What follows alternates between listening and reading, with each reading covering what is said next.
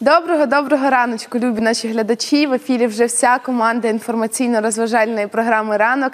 Та ми її ведучі я Лілія Таманчук та мій колега Володимир Зенчковський. Доброго ранку всім одеситам. Так, прокидаємось разом з Суспільним, прокидаємось разом з нами, адже ми, як завжди, традиційно працюємо для вас в прямому ефірі для того, щоб ви дізнавались всі новини першими, для того, щоб ви знали, що відбувається в нашому місті, та знайомимо вас з цікавими людьми. Також не забувайте долучатись до наших соцмереж сторінок, а саме сторінка Facebook під назвою Я Одеса, де зараз йде вже прямий ефір, іде стріму. Ви можете писати свої коментарі та теми, котрі б хотіли обговорити разом з нами. А також наша сторінка в інстаграм, е, сторінка під назвою Суспільне Одеса. Відмічайте нас, пишіть також коментарі та долучайтеся. Адже, як ми знаємо, зараз е, насправді інтернет-спілкування, віртуальний світ також є дуже важливим, і це такий дуже хороший зв'язок, комунікація саме з нашими глядачами. Тому ми завжди дуже раді і відкриті до ваших коментарів. Звісно, тому ми чекаємо на вашу активність і більш перш за все, як завжди, про цікавих гостей, які сьогодні нас відвідують. Отже, сьогодні до нас у студію завітають журналістка Наталя Стеблина. Також вона є аналітикинею е, інституту демократії імені Пилипа Орлика. Вона розповість про те, як проходять вибори, в принципі, як е, правильно, скажімо так, е, дотримуватися культури виборів, і е, як бути обізнаним в цьому. Також до нас сьогодні завітає засновниця студії для дітей. Та і, і по-іншому ця студія називається Швадський клуб. Е, Сороки. Ганна Сорокіна обов'язково розповість нам про те, як вона навчає всіх дітей е, шити та майструвати одяг не тільки для своїх ляльок, а й для себе. Ну і наостанок до нас завітають актор, актори е, експериментально-театрального простору Тео, які обов'язково розповідатимуть нам про спектакль Муха Цокотуха.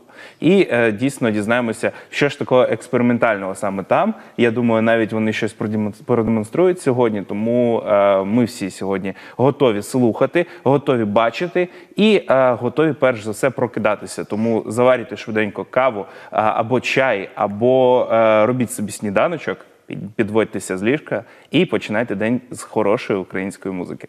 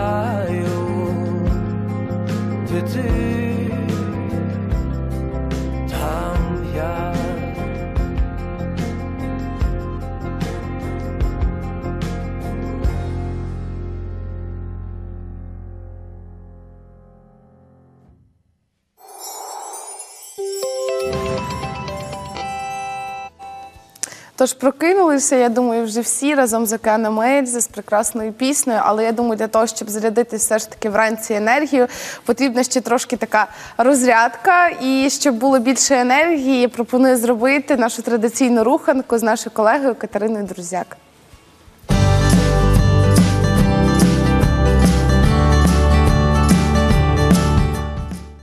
Доброго ранку! З вами знову Катерина Друзяк, і ми розпочинаємо ранкову гімнастику.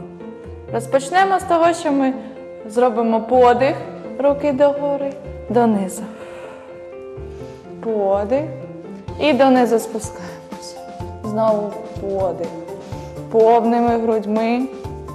Подих. Добре. Розгортаємось. Будемо робити стрибки. Один. Десять стрибків. Два. Три. Чотири. П'ять. Шість. Сім. Вісім. Дев'ять. Десять. Хто не може робити стрибки? Опирається на якийсь стілець та робить зрозумілий вправи. Сідає донизу. Догори. Десять разів. Один. Два. Три чотири, п'ять, шість, сім, вісім, дев'ять, десять. Добре. Подих. Зробимо гімнастику для м'язів грудей. Розпочнемо. Спочатку обертаємо руки. Один. Подих. Два. Три. Чотири. П'ять. Шість. Сім. Вісім. Дев'ять. Десять. Добре закінчили. Перейдемо до наступної вправи. Один. Два. Будемо повторювати 10 разів на кожну ногу. Чотири. П'ять. Можна робити цю вправу, спираючись. На стілець. На стол. Дев'ять. Десять. Ще десять. Один. Два. три, чотири, п'ять, шість, сім, вісім, дев'ять, десять. Добре, подих. Марш на місці. Подих. Ще. Подих. Розтягуємось. Один.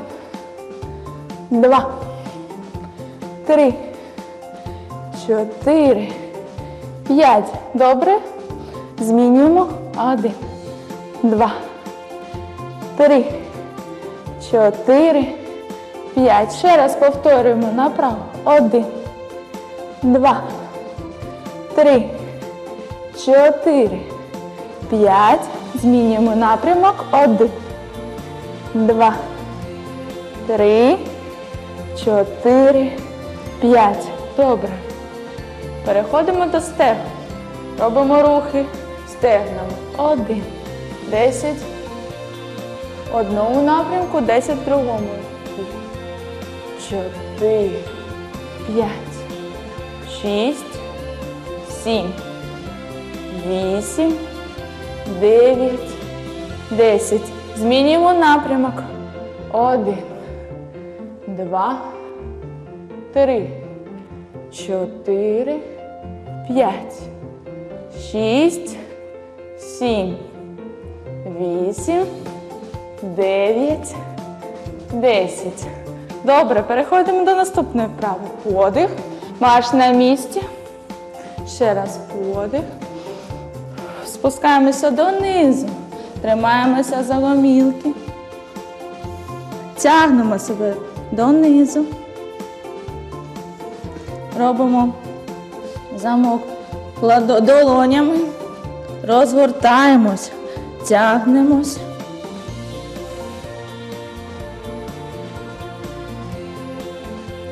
Відпускаємо долоні, розгортаємося догори, витягуємось, подих, донизу. Знову подих, донизу. Переходимо до ніг. Робимо оберти стопами. 10 в одному напрямку.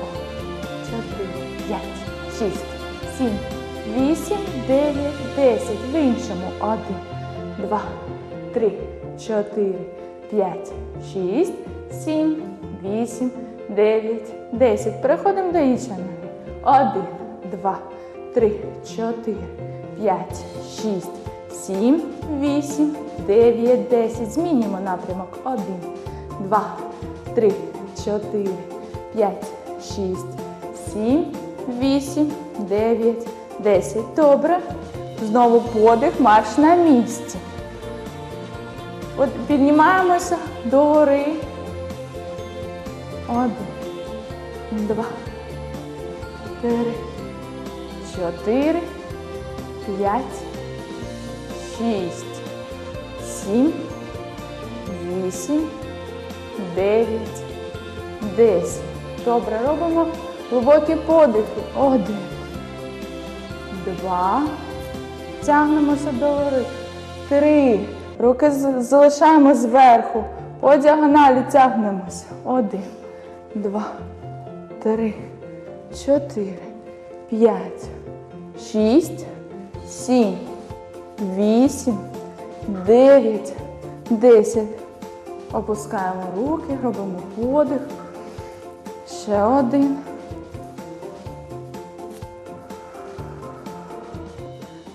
На цьому все. Бажаємо вам гарного дня!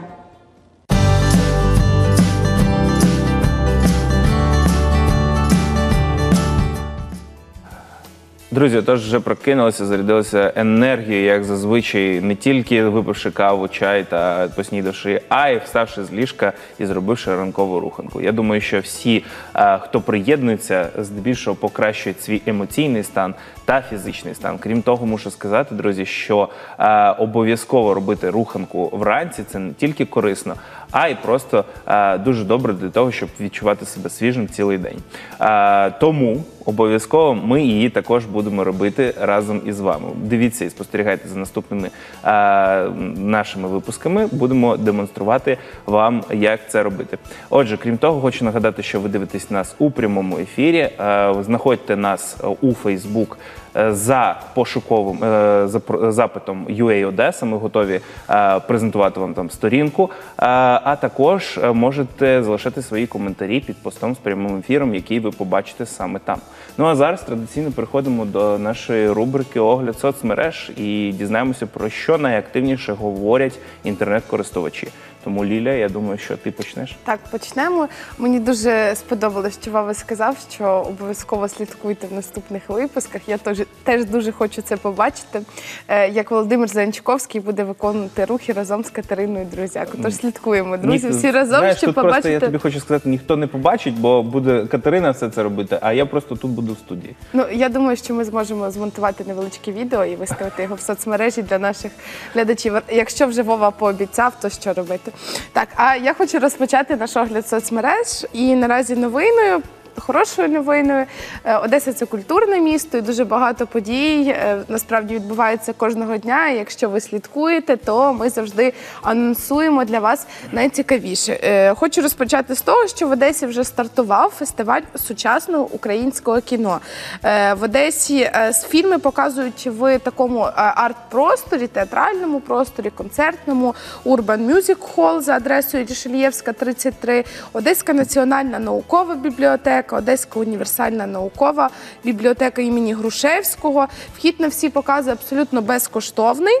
Артхаус Трафік з 1 березня запустив для кіноклубів по всій Україні фестиваль сучасного українського кіно.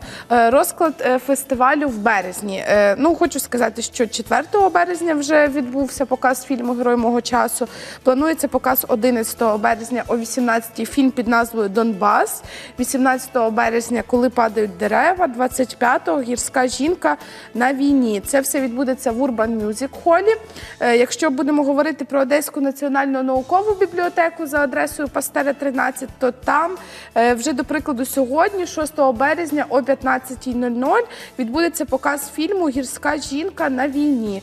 13 березня Герой мого часу, якщо раптом ви не встигли ще його подивитись. 20 березня фільм Брама, 27 березня фільм під назвою Іні. Це все о 15 Ну насправді. Ці фільми вони такі на слуху, більшість з них, тому я думаю, ви чули. І е, якщо раптом не мали змоги подивитись, то будете мати. Так що слідкуйте за розкладом. І ще трішки про розклад в універсальній науковій бібліотеці імені Грушевського за адресою Троїцька, 49, дроб 51. 20 березня о 17-й фільм Донбас, а 27-го о 17 фільм під назвою Стрімголов. Ось так. Так що слідкуйте, долучайтесь. Сучасний український кіно- кінематограф, перепрошую, справді розвивається. Дуже достойні фільми. Їх є багато, тому будете мати змогу подивитись деякі з них. Окрім того, хочу зазначити, що більшість цих фільмів вдалося подивитися е, поціновувачам українського кіно саме на Одеському міжнародному кінофестивалі, і е, більшість фільмів склало враження дуже позитивне і дуже цікаво. Тобто можна впевнено казати, що українська кіноіндустрія, принаймні зараз, потихеньку починає розквітати. Якщо я не помиляюсь, хотіла в тебе уточнити фільм Донбас. Це про історія, так? Це документальна історія. бабусі? Не зовсім. Це документально-ігровий фільм Сергія Лозниці, який е, демонструвався у Канах, який е, виграв е, певну нагороду у секції Особливий погляд.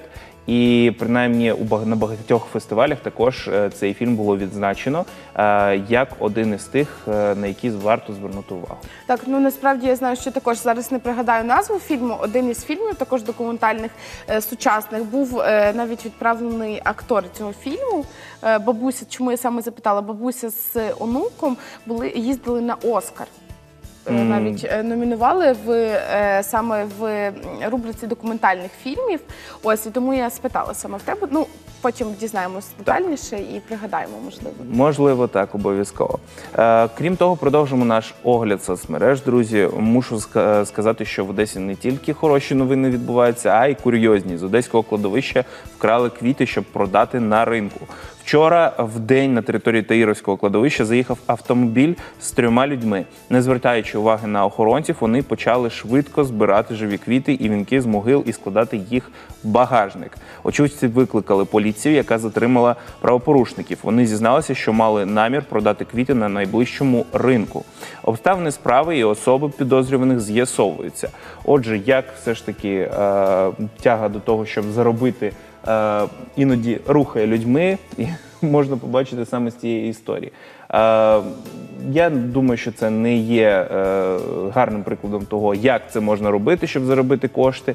Тому все ж таки. Здебільшого варто е, це робити легальніше, як на мою думку. Легальніше. Ну я думаю, що взагалі е, це такий е, одноразовий випадок, як то кажуть. Просто ми анонсуємо і говоримо про те, що і справді якась людська культура, взаємоповага, так бо для когось це просто квіти як заробіток, а можливо для когось це було дуже такою важливою частиною, якимось ритуалом. Ось тому обов'язково поважайте одне одного та звертайте на якісь цінності, на права одне одного для того, щоб наше суспільство все ж таки розвивалося і було більш цивілізованим та е, взагалі розвинутим. Ось е, хочу далі продовжити. Е, Одеській області головне управління статистики підбило підсумки, е, що стосується народжуваності в Одеській області, саме і в Одесі. У 2018 році в Одеській області народилося понад 23 тисячі дітей. Наймолодшої мамі виповнилось всього лише 12 років. А, а найстаршій мамі виповнилось 58 років. 74 немовляти народились у жінок молодше 15 років. Більшість дітей народжують у батьків, які перебували у зареєстрованому шлюбі. За рік було зареєстровано всього 16 е, 16 тисяч 300 шлюбів. Це на 865 менше ніж у 2017 році. А середній вік матері при народженні дитини становив 28 років. Середній вік жінок, що вступили до шлюбу, 31 рік. А наймолодшим е, подружжю по 16, наймолодшому подружжю по 16 років. Е, Найстаршому нареченому 97, а нареченій 92. Ну, це дуже мило в кінці, прям дуже Так. мило. Ну а як Такі- ти вважаєш, от е, най, найстарший наречений, як він е, аргументує це, що він хоче бути нареченим, принаймні, і е, також одружитися? Вова, ну хочу сказати, що в будь-якому віці, мені здається, люди залишаються дітьми, залишаються авантюристами, і насправді е, я вже так трохи починаю переконувати в цьому, будь воно приходить з якимось е, досвідом, з якимось пізнанням світу. Коли ти просто спостерігаєш за людьми, так ти бачиш, що якась оболонка зовнішня вона змінюється, а всередині люди залишаються справді авантюристами. Ну, на жаль, не всі, так, але як на мене, це дуже круто. Дуже круто, коли зберігається ця енергія, коли є бажання жити, так і 97 років женитися. Ну чого ні? Ну так, дійсно, я думаю, що виходити якщо, заміж. якщо є Якщо бажання, хочеться, так. якщо є бажання і якщо є сили, то е, одружуватися ніколи, ніколи не пізно. Так, а з приводу того, що такі доволі ранні, е, як ми бачимо, шлюби, я насправді трохи відверто е, в шоці, е, оскільки, ну, е, мабуть. е, Трохи не готова зараз про це говорити, так бо, е, мабуть, потрібно все ж таки слідкувати за якимось е, вихованням своїх дітей, сексуальним вихованням, в тому числі для того, щоб діти були якось більш свідомими, бо все ж таки не дарма визначають якийсь вік, так коли вже людина готова до шлюбу, готова до сім'ї.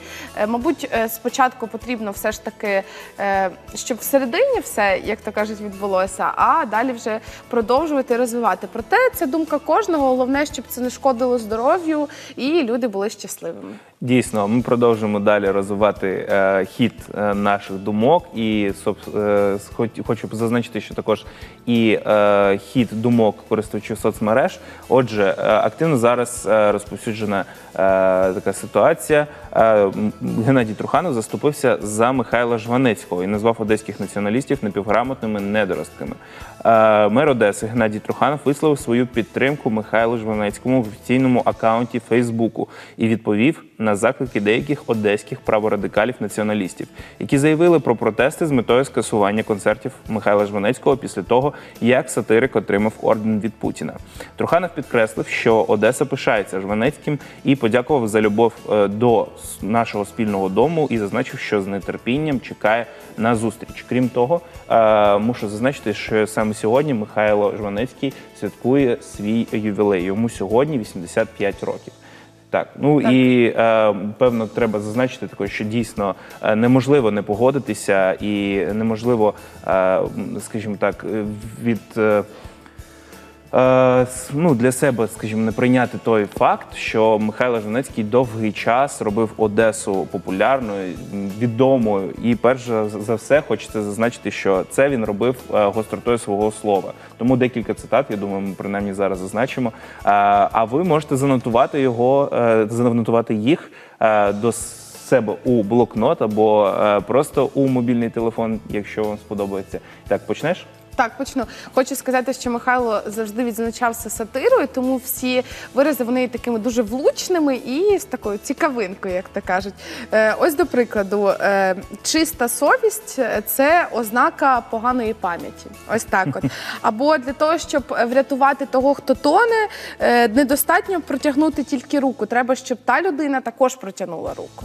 Так. Ось, ну я думаю, тут такий двійний сенс насправді є. Е, і от мені подобається це особливо. Не потрібно переживати через всякі дурниці, е, а не через дурниці переживати вже пізно. Ось так. Тому потрібно жити саме, я думаю, в цей момент і насолоджуватись життям саме в цей момент. Є декілька улюблених моїх цитат Михайла Жванецького. Наприклад, е, заборонених речей немає, є речі, які не рекомендовані. Також не можеш любити, сиди і дрожи. Ну і крім того, ще е, дурні дуже люблять карати розумних. По-перше, себе піднімають, по-друге, розумніше виглядають.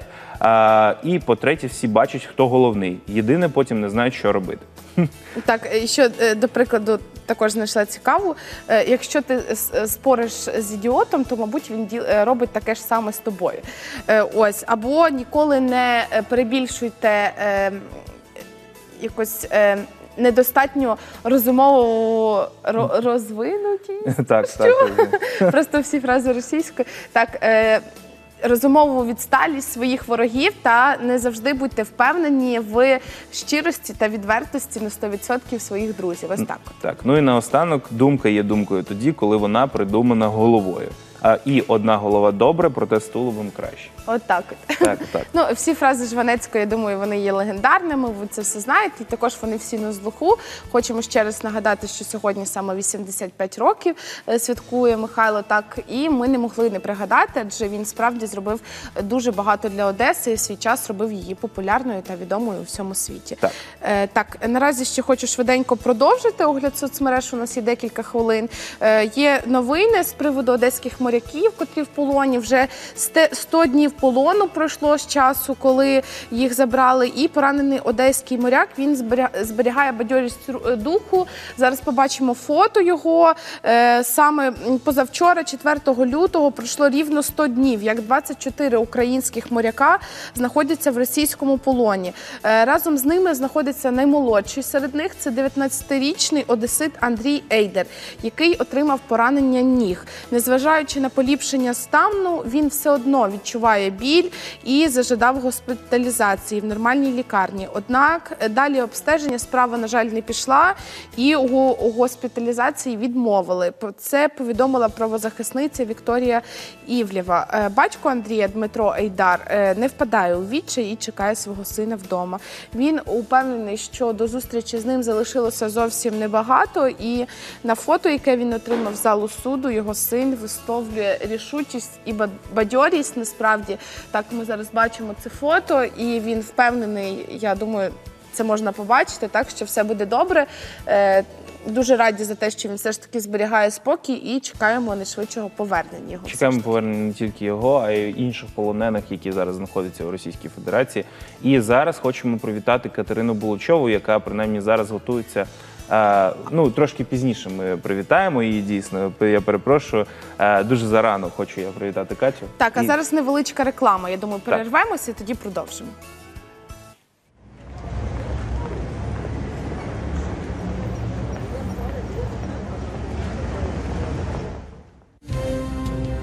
Йдуть вибори. Красиві слова. Брехливі обіцянки цинічні жарти. Нас знову хочуть обдурити, щоб ми зійшли зі свого шляху, щоб знову стали слугами Кремля. Не вийде. Ми вільні, і перед нами велике майбутнє. Порошенко єдиний, хто здатний зберегти державу. Кандидатів багато. Президент один.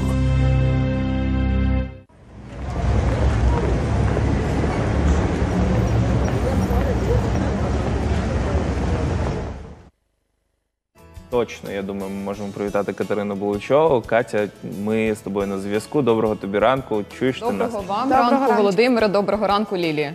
Отже, е, скажи, будь ласка, як у тебе настрій? Адже вчора е, відчувалося таке значне потеплішення і е, плюс 14 на вулиці. Чи відчуваєш ти весну? Ну, я розпочинаю працювати дуже дуже рано, коли темно, і е, закінчую також, коли темно і холодно. Тому я сьогодні у хутрі та у зимових чоботях. Поки що не відчуваю, але я сподіваюся, що вихідними можна буде догуляти масляну та відчути весну, порадіти. І е, взагалі дуже вам дякую, подивилася ваш ефір а, за те, що ви привітали Михайла Жванецького. Дуже приємно почути його цитати. Це так дуже е, для серця одеситки. Класно. Заряджає так енергію. Так. Ну будемо сподіватися, що все ж таки в твоєму серці вже е, прийде весна. Бо хочу сказати, що сьогодні я відзначила, що коли ми вже йдемо на роботу, то вже сонце зійшло, і це не може ніяк не радувати. Е, Отож, е, будемо сподіватися, що все ж таки весна прийде і до твого серця. А наразі передаємо тобі слово і чекаємо актуальні новини. Так, дякую, Лілія. Дякую, Володимире. Справді вже світліше раніше. Це приємно відчувати та бачити і переходити до випуску новин.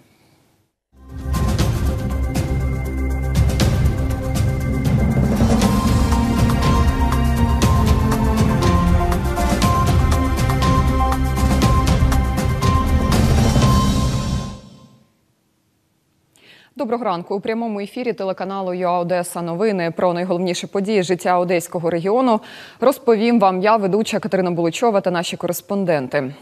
Сьогодні о 10.30 у Київському районному суді Одеси відбудеться судове засідання у справі розслідування пожежі у дитячому таборі Вікторія. Попереднє засідання було 27 лютого. На ньому допитали свідка Наталію Ковальчук, матір постраждалої дівчинки, яка на момент пожежі відпочивала у таборі Вікторія. Матір дитини розповіла, як почувалася її донька після пожежі. С полгода она только спала со мной, боялась, ну как ночью судороги были, она как бы чуть срывалась. В магазин она вообще не ходила. После пожара она мне всегда говорила, а вдруг со мной что-то случится. То есть она меня вообще, ну, сама никуда не ходила, ни в школу, а теперь, слава богу, она уже успокоилась. Адвокати Петроса Саркісяна тоді також клопотали про результати незалежної експертизи, яку проводили для з'ясування причин пожежі. Суддя у справі Віктор Чаплицький дозволив їх оприлюднити. Были допущены, допущены грубейшие нарушения уголовного процессуального законодательства, э, в частности, а именно в части э, того, что не должна она была быть проплачена кем-либо, она должна была быть проведена за счет э, денег, э, заложенных в госбюджете Украины, это раз. Во-вторых, ни следственный судья, а сам следователь должен был назначать проведение этой экспертизы. И третье, она должна была быть проведена в государственном экспертном учреждении, как то требует закон о судебной экспертизе. Наверное, выводы экспертизы, наверное, очень интересные, и не все хотят э, услышать выводы этих экспертов. Ну, Мы их не читали, но надеемся, что э, эта экспертиза э, выдаст все-таки причины пожара, потому что сейчас слушаем это дело по маразматичной ситуации, не зная причин пожара, человека обвиняют по 270 части 2 Уголовного кодекса Украины. Э, Нами, как защитой, было заявлено ходатайство об истребовании этой экспертизы. Эта экспертиза проводилась в рамках выделенного уголовного дела, которое находится в производстве областного следственного управления. Нагадаємо, трагедія у таборі Вікторія сталася в ніч на 16 вересня, півтора роки тому. Спалахнув один з дерев'яних корпусів. У ньому було 42 дитини. Троє з них госпіталізовано, троє згоріли. Рештки 12-річної Сніжани Арпентьєвої змогли ідентифікувати лише через тиждень. Наші журналісти будуть присутніми на сьогоднішньому судовому засіданні. Із подробицями про нього вони ознайомлять вас у наступних випусках. І сьогодні о 16-й у Київському районному суді Одеси відбудеться наступне засідання по справі Максима Литвина, якого звинувачують у жорстокому поводженні з тваринами. На минулому засіданні 7 лютого покази давали свідки Віра Тимошевська та Юлія Карагіус, волонтерки зоозахисниці, які давали на утримання маленьких котів Литвину та його співмешканці Валерії Скибицькій. Говорила і сама Валерія. Ира отдала кошечку Еву, которую я хорошо знала. То есть она была нормальная, здоровая кошечка. И уже забрала она ее ну, в изуродованном виде. То есть она была, ну, она была побита, она была мокрая, она была, она, она, она была фломастером вся разрисована, знаете, вот, ну, как чепрак, господи, резать. Эта кошка, она была дикая еще и в апреле месяце. То есть она боялась, она боялась рук, она боялась людей. Это маленькая, мы уже Люся ее назвали, чтобы как-то поменять. То есть она была, ну, сломлена кошка была, понимаете. Когда мы приехали, нас было человек 5-6. Разбирательство было очень шумное, громкое, на парадной. Мы просили обратно животное. На тот момент мы уже узнали, что животное было, как сказать, пострадало, потому что Валерия сама призналась, она говорила, что они выбросили его через окно, что оно пострадало, что оно все они принесли обратно его в крови. Да, виноват, виноват. Двоих животных мучил. И мучил серьезно. И недавно я узнала, что рыжий котенок вообще без лап остался. Это тот кот, который прожил у нас полгода. Началось все вот с рыжего кота. Сначала рыжий кот пошел. Он, получается, когда он скинул с седьмого этажа, э, мы его неделю искали. И потом вот нашли через неделю. У него, получается, внизу лапы разорвано было, внутри лапы, это задние лапы тоже разорвано было. Ну, я зеленкой помазала, я, я же не ветеринар. Потом к нам начали люди ходить. Потому что сначала поднялась соседка шестого этажа, начала меня спрашивать, а где ваш кот? Я говорю, Максим, ну рассказывай, как все было на самом деле. На минулих судових засіданнях обвинувачуваний свою провину не визнавав. Прокурор та адвокат обвинуваченого пообіцяли прокоментувати справу на сьогоднішньому засіданні. Там будуть присутні наші кореспонденти. Подробиці дізнаємось із наступних випусків. Нагадаємо, що раніше Максим Литвин притягався до кримінальної відповідальності за зґвалтування та умисне убивство. Зазначимо, що за жорстоке поводження з тваринами закон передбачає від 5 до 8 років позбавлення волі. У рамках тактичних навчань Блакитна батьківщина 2019 очікується візит до порту Одеси турецьких військових кораблів сьогодні, 6 березня, з 14 до 17 та завтра, 7 березня, з опів на 10 ранку до 12.00 та з 14 до 17. Фрегат TCG Барбарос та штурмовий катер TCG Марті будуть відкриті для вільного відвідування.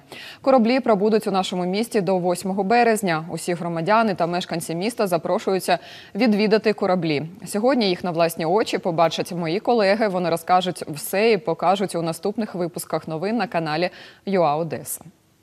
І за повідомленням синоптиків гідрометцентру Чорного та Азовського морів, сьогодні у середу, 6 березня, по Одесі та області очікується змінна хмарність. Ввечері можливий невеликий дощ. Температура повітря від плюс 4 до плюс 10 градусів. Вітер південно-західний та західний 2-4 метри на секунду. Температура морської води плюс 4 за Цельсієм. Такими були найцікавіші новини на цей час. Залишайтеся з нами. Далі буде більше приємного вам ранку та вдалого дня.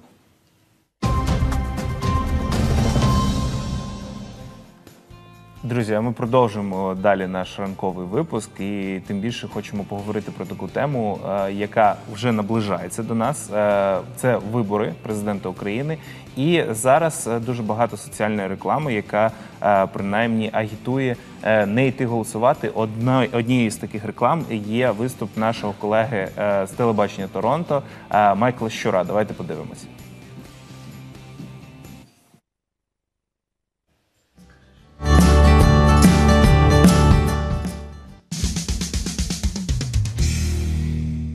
Не ходіть на вибори, не ходіть. От чого туди йти? Витрачати свій час, стояти в черзі, читати програми кандидатів, щоб визначитись. Коротше, повно роботи. А ваш голос все рівно нічого не вирішить. Краще хай йде, як іде. Буде новий президент, він чи вона буде робити те, що захоче, подружиться з тими країнами, з якими захоче, скасує приватну власність, заборонить бізнес, націоналізує всі підприємства і вашу квартиру. У всіх будуть однакові зарплати, айфони будуть заборонені, інтернет тільки на Укрпошті. Буде один вид ковбаси, хліба і хабарництва. Злочинності не буде у міліції, бо її знову перейменують. Будуть будуть хороші показники розкривання злочинів. Вам підкинуть пакетик з якимись наркотиками і заарештують, бо треба ж показники здавати. Посадять, ви відсидите, у тюрмі заведете нові знайомства, може навіть тату зробите. Потім вийдете, ви будете крутою людиною. Вас будуть поважати і навіть боятися усі сусіди, особливо коли нап'єтеся. Ви одружитесь чи вийдете заміж. У вас будуть діти. Ви будете гнати самогон, щоб заробити дітям на їжу. А потім ваша дитина випадково проговориться у школі про самогон і здасть вас міліції. Ви зустрінете у в'язниці старих друзів, розговоритесь і подумаєте. А може, треба було ходити на вибори? Але женіть ці думки подалі. Не ходіть на вибори. Півгодини вашого часу точно цього не варті. Але якщо ви все ж таки вирішили йти на вибори, Тоді дивіться головну дискусію України Зворотній відлік на Суспільному.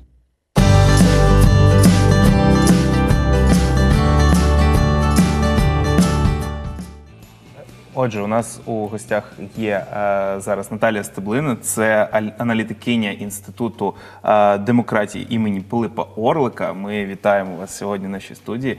Е, і ви незабаром будете читати лекцію про те, як уникнути маніпуляцій на виборах, і про те, як все ж таки е, е, відбувається, напевно, культура виборів в Україні. Е, Так, е, е, доброго ранку. Ми будемо говорити справді, це буде не стільки лекція, скільки майстер-клас, я сподіваюся. І ми будемо говорити про те, як сприймати, зокрема, журналістські тексти, тому що дуже часто межа між рекламою політичною журналістикою. Е, Дуже така нечітка, і будемо намагатися визначати джинсу, визначати маніпуляції, аналізувати тексти. Поговоримо зокрема і про те, як Дональд Трамп зі своїм твіттером змінили сучасну політичну комунікацію, і чи вплинули взагалі е, всі ці зміни в Сполучених Штатах Америки на те, як у нас проводиться агітація. Ну, от, наприклад, ви згадали Твіттер. От е, в Україні він не є настільки популярним, напевно, бо використовують його лише е, верхівка нашої влади. Ну, якщо так можна зазначити. І я. Е, Ну і ви, напевно. Ну я просто не використовую. Е, Це лише особисто моя також не думка, використовую. так. Ну, Е, На жаль, на жаль, просто е, це е, є, скажімо так, позитивним чи все ж таки негативним моментом, коли е, люди не використовують саме Твіттер, наприклад, для е, ознайомлення з. Новинами напрямісінько прямісінько від е, верхів влади нашої, так. Ви знаєте, це цікаве питання. Ми часто до нього повертаємося. І одна з таких версій, що Твіттер насправді це короткі повідомлення, е, ну, більш такого новинного характеру. А Фейсбук це е, платформа для дискусій. І оскільки справжній українець е, дуже любить провадити різноманітні дискусії, висловлювати свою точку зору, сварити всіх навколо, то Фейсбук для справжнього українця це набагато краще, ніж Твіттер, де ти обмежений е, розміром, там, символами і так далі. Але якщо говорити про моніторинги новин і про пошук інформації, то Твіттер дуже зручний, і, зокрема, і для журналістів також може використовуватися, бо ви можете одночасно відстежувати інформацію з декількох засобів масової інформації. Це дуже круто насправді. Так, а от, наприклад, е, саме е, більшість аудиторії все ж таки приходить до Фейсбуку, так я розумію? зараз? Звичайно.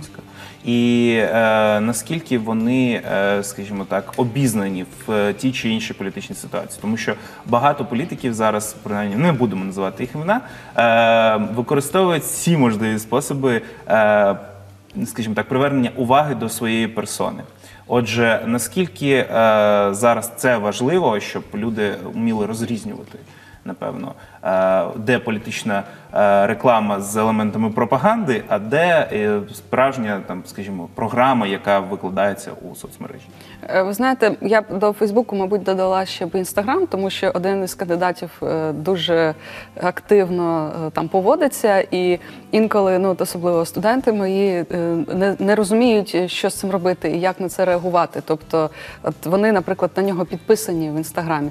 І е, що робити? Це політична реклама, чи це просто він, як вони кажуть, прикалуються. прикалується? Так, тобто, е, звичайно, в соціальній мережі якийсь інший вимір трошки е, для політичної комунікації. І е, якщо справді аналізувати те, що відбулося в Сполучених Штатах Америки, то багато дослідників говорять про те, що Дональд Трамп, зокрема, виграв і е, завдяки своїй агресивній кампанії в Твіттері і в е, Фейсбуці. І якщо, приміром, е, Хіларі Клінтон, яка писала дописи, вона їх зазвичай узгоджувала із, зі своєю своїм своїм штабом, чи ну інколи вона писала, інколи за неї писали, то з Дональдом Трампом все не так просто.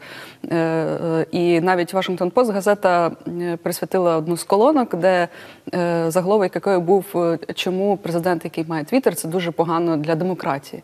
Тому що справді дуже часто рішення, які ми ухвалюємо, перш ніж щось запостити, вони дуже непередбачувані. Ми на емоціях діємо. І справді, якщо Дональд Трамп твітить щось, це як це сприймати? Це його точка зору. Чи можливо, ось закон, про який він пише, це він його е, ну він його підпише чи не підпише? Він буде діяти чи не буде діяти? Тобто, це насправді все е, доволі складно, і е, вся розмова стає дуже агресивною, радикальною, непередбачуваною, і це така проблема. Але можливо є різниця між тим, що Дональд Трамп пише сам свої пости у Твіттері, і можливо прес-служба президента України Петра Порошенка е, принаймні робить це. Бо якщо подивитися пости Трампа, вони більш такі е, ну, свої, скажімо так, свої думки він висловлює. А з приводу Порошенка там все красиво, все як е, мають робити, скажімо, е, тележ- е, журналісти просто. Ну, це я думаю, це питання дискусійне, тому що справді, якщо е, прес-служба працює над цим, то ми можемо говорити про те, що вони діють в межах, в межах певної стратегії, яка заздалегідь була укладена. Е, а якщо говорити про е, ось такі непередбачувані твіти, то інколи, ну якщо ви читали книгу Боба Вудварта Страх про те, що відбувається у Білому домі, от зокрема за Трампа, то він говорив про те, що дуже часто навіть його близьке оточення і колеги бувають шоковані тим, що він там пише. Так, ну тобто, це говорить про те, що не все узгоджено і погоджено, і так далі. Так, а можливо, е, дехто з українських саме кандидатів теперішніх вирішив перейняти досвід, бо, як на мене, цього року. Цього року справді як ніколи використовують медіа. Навіть один із кандидатів він веде блог, в якому е, відкриває всі процеси виборів, як це все відбувається. Можливо, це такий пункт, який вирішили перейняти саме від штатів для того, щоб виграти. Е, Я думаю, що у нас дуже активно слідкують за тим, що е, відбувається в е, Штатах. І справді, от якщо говорити, от ви згадали про блог, от що таке блог там з точки зору комунікації, і чому от блоги дуже часто так буває, що вони впливають на людей. Тому що враження таке, що це е, людина, так, така як простий хлопець чи проста дівчина, так які не мають е, е, ну, і- і нічого в них там не, не приховано, так і вони от просто кажуть, що вони думають, то аналогічно, як і Трамп. Так я от е, що, що я що я думаю, те я й кажу. І е, людям це подобається, тому що їм здається, що в такому випадку ними ніхто не може маніпулювати, що з ними чесні, відверті, відкриті і так далі. Думаю, що в цьому теж може ховатися якась маніпуляція. Ну, наприклад, е, зараз також можна побачити багато прикладів, як і молодь намагається привернути там створення, наприклад, мемів. Така певна культура. Один із кандидатів, я знаю, це дуже активно робив. І проте, ну зараз відомо, що він вже зняв свою кандидатуру. Е, Не будемо знову озвучити, хто це. Е, Чи є це релевантним для, скажімо, кандидата, які ну, створювати подібні, наприклад, меми? або інші використовані інформації задля того, щоб привернути увагу не тільки молоді, а й просто аудиторії соцмережі. Ну, дивіться, у нас скільки кандидатів? Е, 44 чи 43? Такого ще не так. було, Тобто- так. Тобто дуже багато. Відповідно, е, потрібно якось привернути увагу до себе. Якщо це просто там намет, і всі в цих наметах роздають е, там роздаткові матеріали, газетки, то цим уваги не привернеш. Тому потрібно шукати якісь нові форми для комунікації. І меми, я думаю, що вони особливо там для молодіжної аудиторії. е, Можуть бути дуже запотребуваними. Єдина проблема, що молодіжна аудиторія, мабуть, не настільки активна у своєму бажанні йти голосувати, як е, аудиторія більш е, такого старшого віку. А існують якісь певні границі, кордони, які е, от забороняють якусь рекламу, забороняють якусь агітацію? Тобто є якісь межі цього всього? Вони є десь прописані, можливо? Е, Звичайно, вони прописані у законодавстві, і е, законодавство е, чітко визначає, що можна робити і що не можна робити. Е, єдина проблема, що е, у нас е, не завжди дотримуються цього законодавства. Так, ну от із, із того, що я встигла побачити у вас, ви маркуєте е, рекламу. Рекламу, відповідним чином ви пишете, що це політична реклама. Так, однак е, не всі журналісти це роблять. І от якщо ми говоримо про джинсу, наприклад, то це теж політична реклама, але вона може підписуватися плашкою актуально, наприклад, чи просто політика, якщо ми про сайти говоримо в дужках. І е, відповідно е, у людей просто немає можливості налаштуватися, що це, це реклама, і потрібно сприймати це повідомлення відповідним чином. І ті дослідження, які робить е, інститут демократії імені Пилипорлка, це на жаль е, підкреслює. Е, От, зокрема, якщо подивитися на шпальти от районних газет, тому що ми зараз досліджуємо саме питання роздержавлення, е, як роздержавилися е, наші газети успішно чи ні, то ви самі це уявляєте. Це суцільні привітання від е, політиків, від місцевої влади, які подаються теж як от на першій шпальті. Це означає, що це найважливіше, що трапилося у цьому місті, районі і так далі. Відповідно, це збиває з пантелику. Так, а як щодо е, виборців, ми поговорили трошки про кандидатів. Як щодо культури е, виборців і розуміння виборців в принципі в Україні і в Штатах, чи є велика різниця в тому, як вони сприймають, скажімо так, е, перегони? Е, Ну, я не мені складно сказати про е, Сполучені Штати Америки. От коли ми з вами туди поїдемо на гастролі, то, то точно ми зможемо тоді це аналізувати. Якщо говорити про нашу ситуацію, ну і взагалі я думаю, це загальносвітова тенденція. Проблема в тому, що з року в рік стає все більше людей, які не, не визначилися. І от якщо ви дивитеся е, різноманітні рейтинги, то ви бачите, що там доволі відсо- великий відсоток, ну десь приблизно ще третина українців вони не знають за кого вони будуть голосувати. Це означає, що е, от боротьба ведеться саме за цих людей, які можуть ухвалювати свої рішення в останній момент. І е, ми не завжди можемо сказати, чим це все потім е, закінчиться. І знову ж таки дуже багато людей відчувають е, якесь роздратування е, політичного процесу, і дуже часто їм намагаються от сказати це тролив чудово Майкл Щур, що взагалі не варто туди йти. Для чого ви туди йдете? Ваш голос нічого не змінює. Я думаю, що в, цьому проблема, е, і люди мають розуміти, що це їхнє право, і від того, як вони е, з ним скористаються, залежить дуже багато. Ну, от ми бачимо зараз ролик е, на нашій плазмі, де демонструється один з роликів, який е, наглядно е, показує, як е, старі люди е, в Америці, це е, перед ам- американськими виборами, е, агітували не йти голосувати. От цей такий прийом він е, є працюючим, скажімо, от, бо і є також українська версія. Сподіваюся, що наші режисери також її покажуть. Е, не голосуй, вони так її назвали.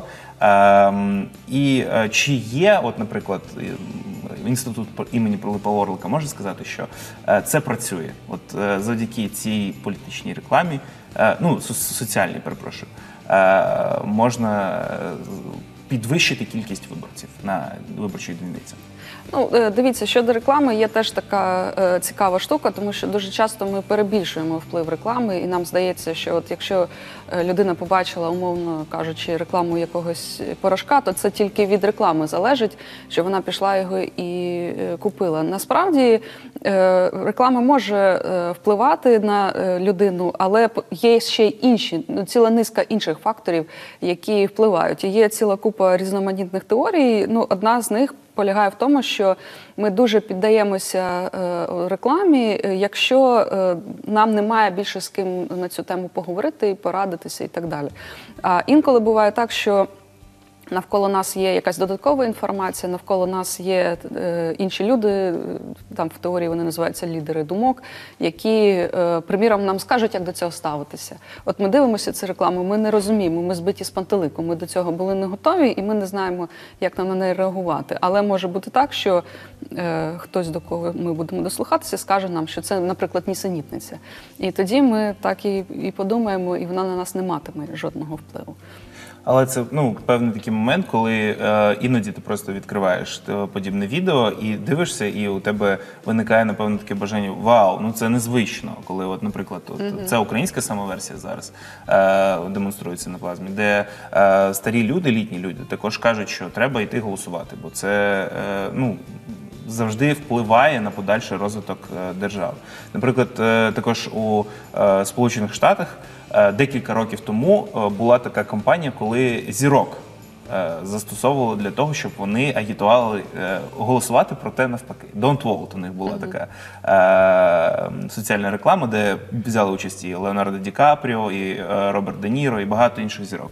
От е, щодо України, чи було б напевно це одним із вирішуючих факторів, якщо- факторів, якщо б е, зірки українські брали участь у подібних заходах? Я думаю, що так. Тобто, якщо говорити про е, от е, саме зірок і людей, які впізнаються, чому рекламісти, е, ну, приміром, просять Месі рекламувати чіпси, так тому що е, Месі для когось це лідер думок, і е, для молоді вони будуть е, до, до, цього, до нього дослухатися і намагатися копіювати його поведінку. Е, Тому зрозуміло, якщо ми справді використовуємо зірок, е, то е, це може привернути увагу і це може впливати е, на нас. Але якщо ми говоримо про якісь е, от кардинальні рішення, важливі рішення в житті людини, то звичайно цього може бути недостатньо. Тобто, знову ж таки, все залежить від того, в яких обставинах людина сприймає певне рекламне повідомлення. І от ви казали сьогодні, ми з вами почали говорити про соціальні мережі.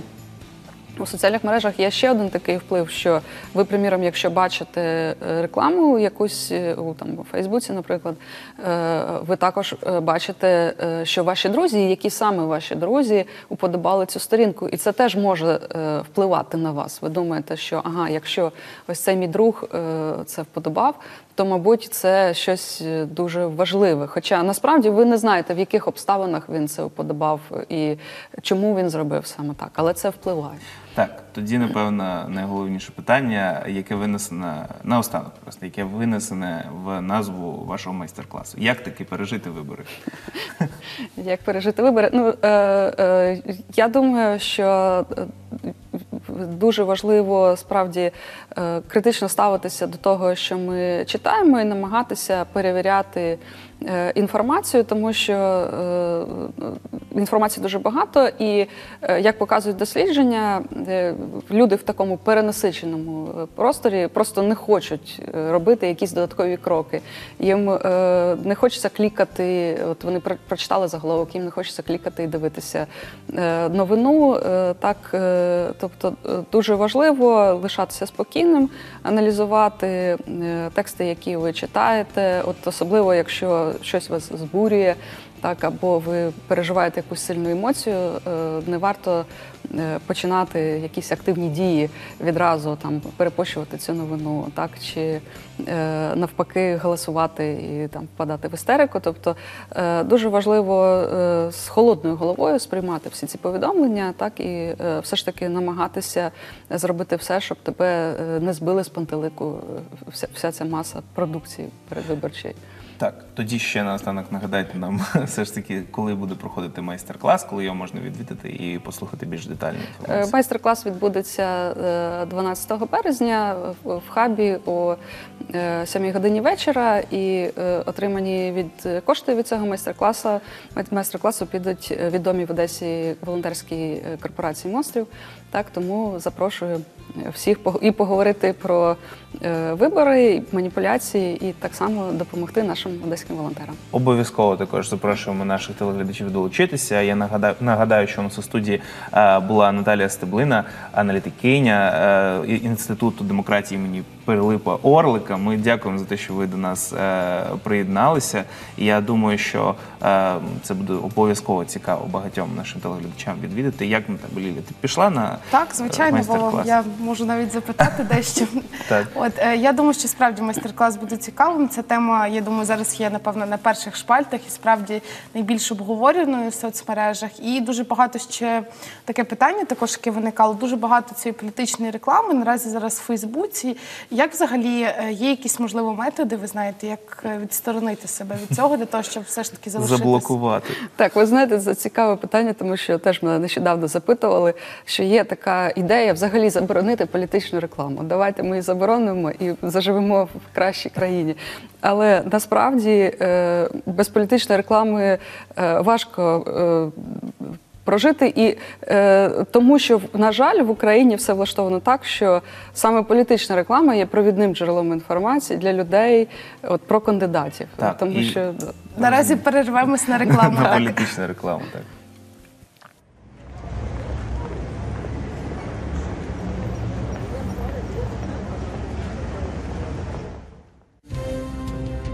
Йдуть вибори. Красиві слова, брехливі обіцянки, цинічні жарти. Нас знову хочуть обдурити, щоб ми зійшли зі свого шляху, щоб знову стали слугами Кремля. Не вийде. Ми вільні, і перед нами велике майбутнє. Порошенко єдиний, хто здатний зберегти державу. Кандидатів багато. Президент один.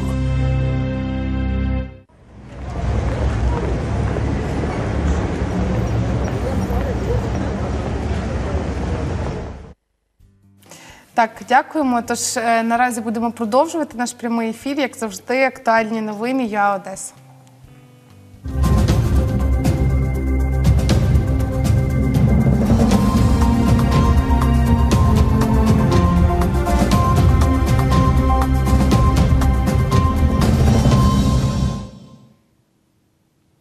Доброго ранку у прямому ефірі телеканалу ЮА Одеса. Новини про найголовніші події життя одеського регіону розповім вам я, ведуча Катерина Булучова та наші кореспонденти.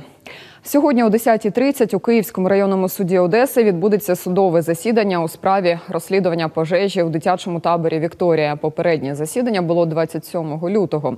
На ньому допитали свідка Наталію Ковальчук, матір постраждалої дівчинки, яка на момент пожежі відпочивала у таборі Вікторія. Матір дитини розповіла, як почувалася її донька після пожежі.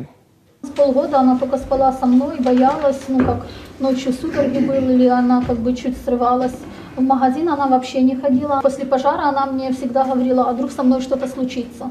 То есть она меня вообще, ну, сама никуда не ходила, ни в школу, а теперь, слава богу, она уже успокоилась.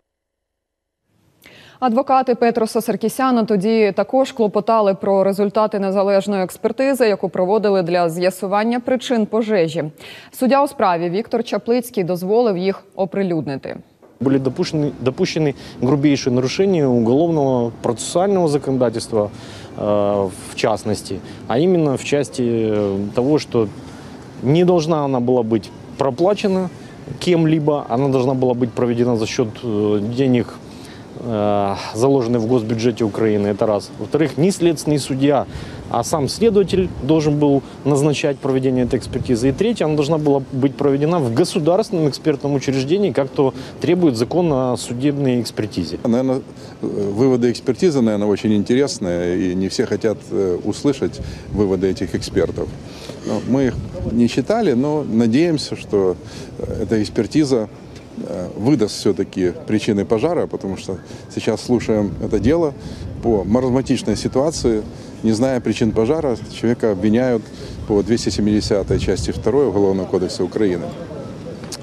Э, Нами, как защитой, было заявлено ходатайство об истребовании этой экспертизы. Эта экспертиза проводилась в рамках выделенного уголовного дела, которое находится в производстве областного следственного управления. Нагадаємо, трагедія у таборі Вікторія сталася в ніч на 16 вересня, півтора роки тому. Спалахнув один з дерев'яних корпусів. У ньому було 42 дитини. Троє з них госпіталізовано, троє згоріли. Рештки 12-річної Сніжани Арпентьєвої змогли ідентифікувати лише через тиждень. Наші журналісти будуть присутніми на сьогоднішньому судовому засіданні. Із подробицями про нього вони ознайомлять вас у наступних випусках. І сьогодні о 16-й у Київському районному суді Одеси відбудеться наступне засідання по справі Максима Литвина, якого звинувачують у жорстокому поводженні з тваринами. На минулому засіданні 7 лютого покази давали свідки Віра Тимошевська та Юлія Карагіус, волонтерки зоозахисниці, які давали на утримання маленьких котів Литвину та його співмешканці Валерії Скибицькій. Говорила і сама Валерія. Ира отдала кошечку Еву, которую я хорошо знала. То есть она была нормальная, здоровая кошечка. И уже забрала она ее ну, в изуродованном виде. То есть она была, ну, она была побита, она была мокрая, она была, она, она, она была фломастером вся разрисована, знаете, вот, ну, как чепрак, господи, резать. Эта кошка, она была дикая еще и в апреле месяце. То есть она боялась, она боялась рук, она боялась людей. Это маленькая, мы уже Люся ее назвали, чтобы как-то поменять. То есть она была, ну, сломлена кошка была, понимаете. Когда мы приехали, нас было человек 5-6. Разбирательство было очень шумное, громкое, на парадной. Мы просили обратно животное. На тот момент мы уже узнали, что животное было, как сказать, пострадало. потому что Валерия сама призналась, она говорила, что они выбросили его через окно, что оно пострадало, что оно все они принесли обратно его в крови. Да, виноват, виноват. Двоих животных мучил. И мучил серьезно. И недавно я узнала, что рыжий котенок вообще без лап остался. Это тот кот, который прожил у нас полгода. Началось все вот с рыжего кота. Сначала рыжий кот пошел. Он, получается, когда он скинул с седьмого этажа, э, мы его неделю искали. И потом вот нашли через неделю. У него, получается, внизу лапы разорвано было, внутри лапы, это задние лапы тоже разорвано было. Ну, я зеленкой помазала, я, я же не ветеринар. Потом к нам начали люди ходить. Потому что сначала поднялась соседка шестого этажа, начала меня спрашивать, а где ваш кот? Я говорю, Максим, ну рассказывай, как все было на самом деле.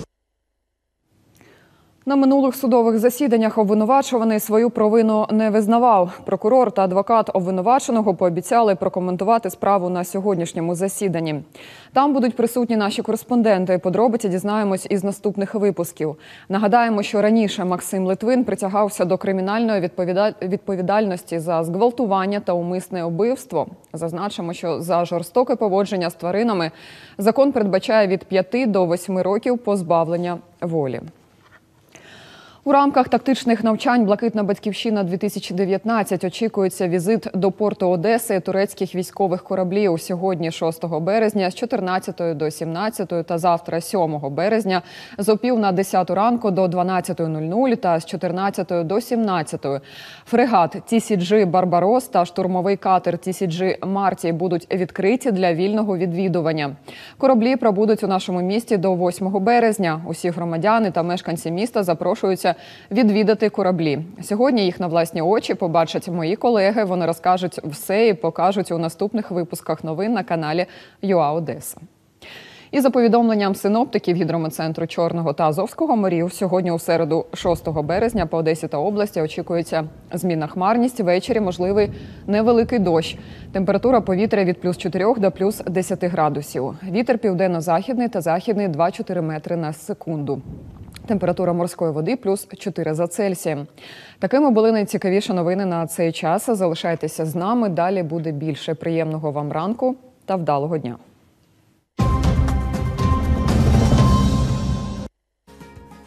Дякуємо Катерині Буличові за те, що дізнаємо всі новини першими. А наразі продовжимо наш прямий ефір хорошою українською музикою.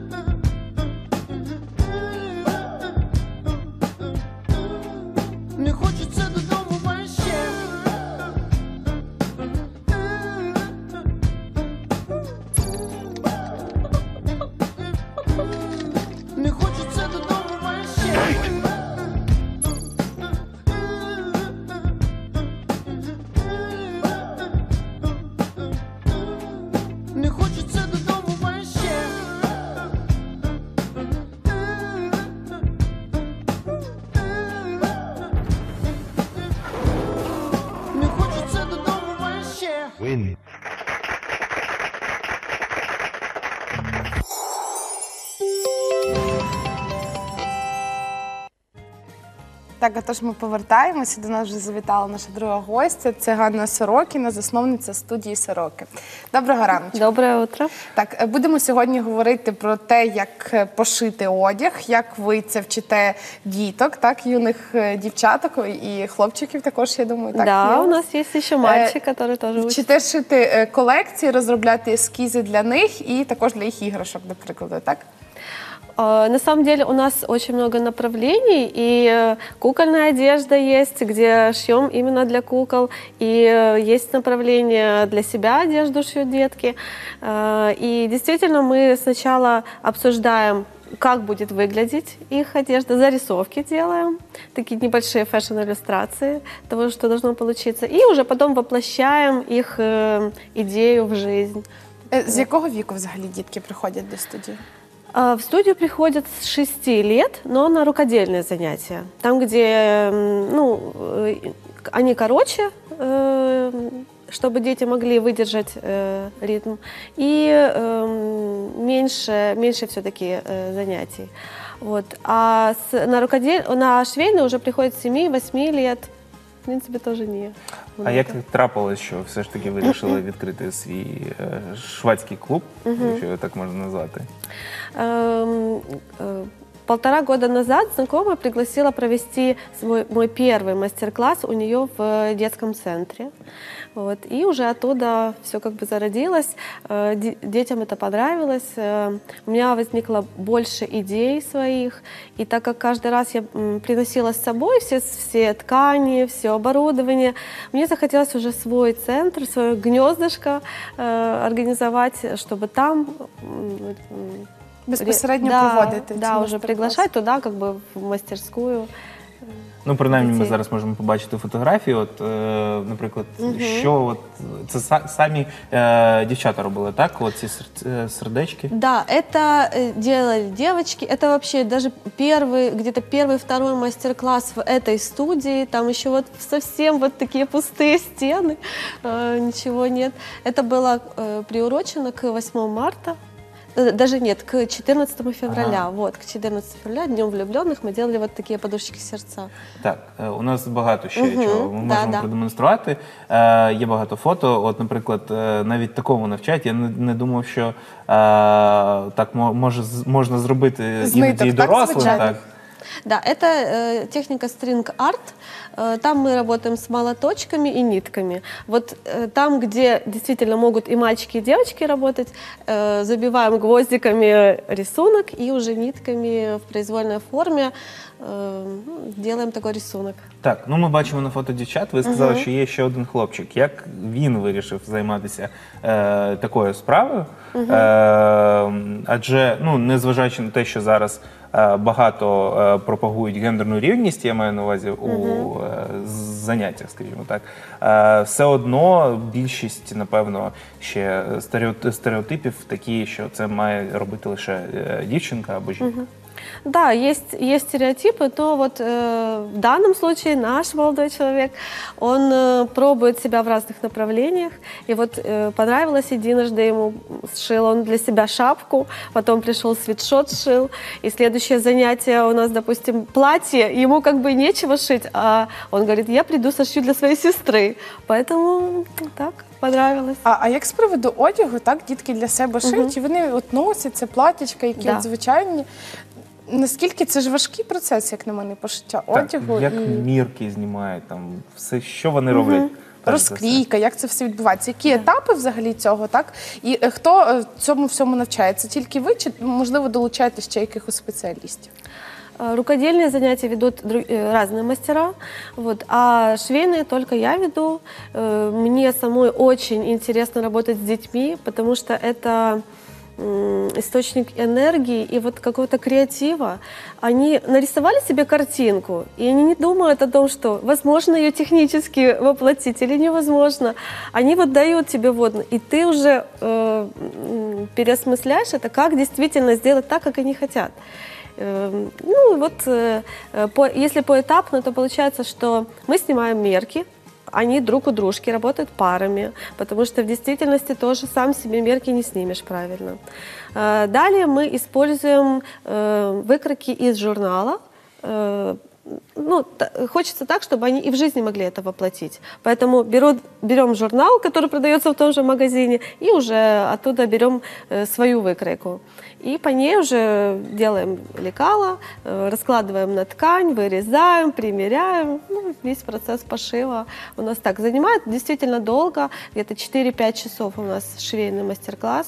Но на самом деле, наверное, взрослый устал бы больше, чем ребенок. Потому что они, когда заканчивают, одевают на себя, допустим, они выходят с таким вдохновлением, воодушевлением, что вот мы побежали, и там дальше у нас еще какие-то свои э, дела. Поэтому об усталости как-то и речи особо нет. А є найбільш успішні такі випускники, Мгм. можливо, чи е, у- просто ученики е, саме студії, так, е, клубу, які, можливо, вже якісь свої колекції невеличкі підготували?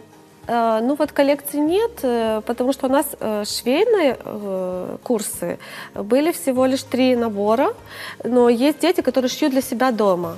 Ну, коллекции еще нет, но есть дети, которые шлют. И это, это очень так вот вдохновляет, что еще очень важно, когда родители поддерживают ребенка, потому что часто бывает, что вот есть швейная машинка, но мы боимся, а вдруг там поломается Мгм. что-то, а, а мы сами не знаем, как там разобраться в этой машинке, и а вдруг себе там пальцы прошьет, а мы будем сидеть возле него рядышком и не поймем, что там делать. Ну, многое, конечно, зависит от родителей тоже. А як з технікою безпеки, до речі, Мгм. ви якось пояснюєте ці всі правила? Є Конечно. якийсь попередній інструктаж, можливо? Да, обязательно. На первом занятии швей- э, швейного курса у нас только теория. То есть мы учим, р- учимся разбирать э, машинку, как она вообще работает, э, заправлять ее, ну то есть нитку заправлять, проверять. Ну и техника безопасности, конечно, там волосы убрать, э, пальцы на каком расстоянии держать от иглы. Вот э, такое. Що найскладніше, напевно, з виробів, які робили от діти, от ви вважаєте м, м, особисто із майстер-класів? От. Э, Самое сложное. Ну, можливо, що вони по- пошили найскладнішого, що е, не кожен дорослий може одразу це взяти і зробити.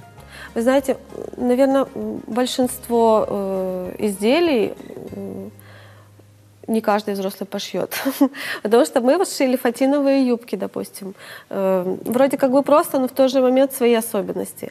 Мы шили, э, девочки шили платья, сочетая разные э, фактуры, разные материалы. И это тоже интересно, не каждый взрослый возьмет, ну, как бы сделать такое. Взрослый больше смотрит на эм, правильность э, технически это выполнить. А так будет правильно или неправильно? А дети, они на это не смотрят. Они хотят реализовать. А, а там что получится, то уже это их работа. Они гордятся этим.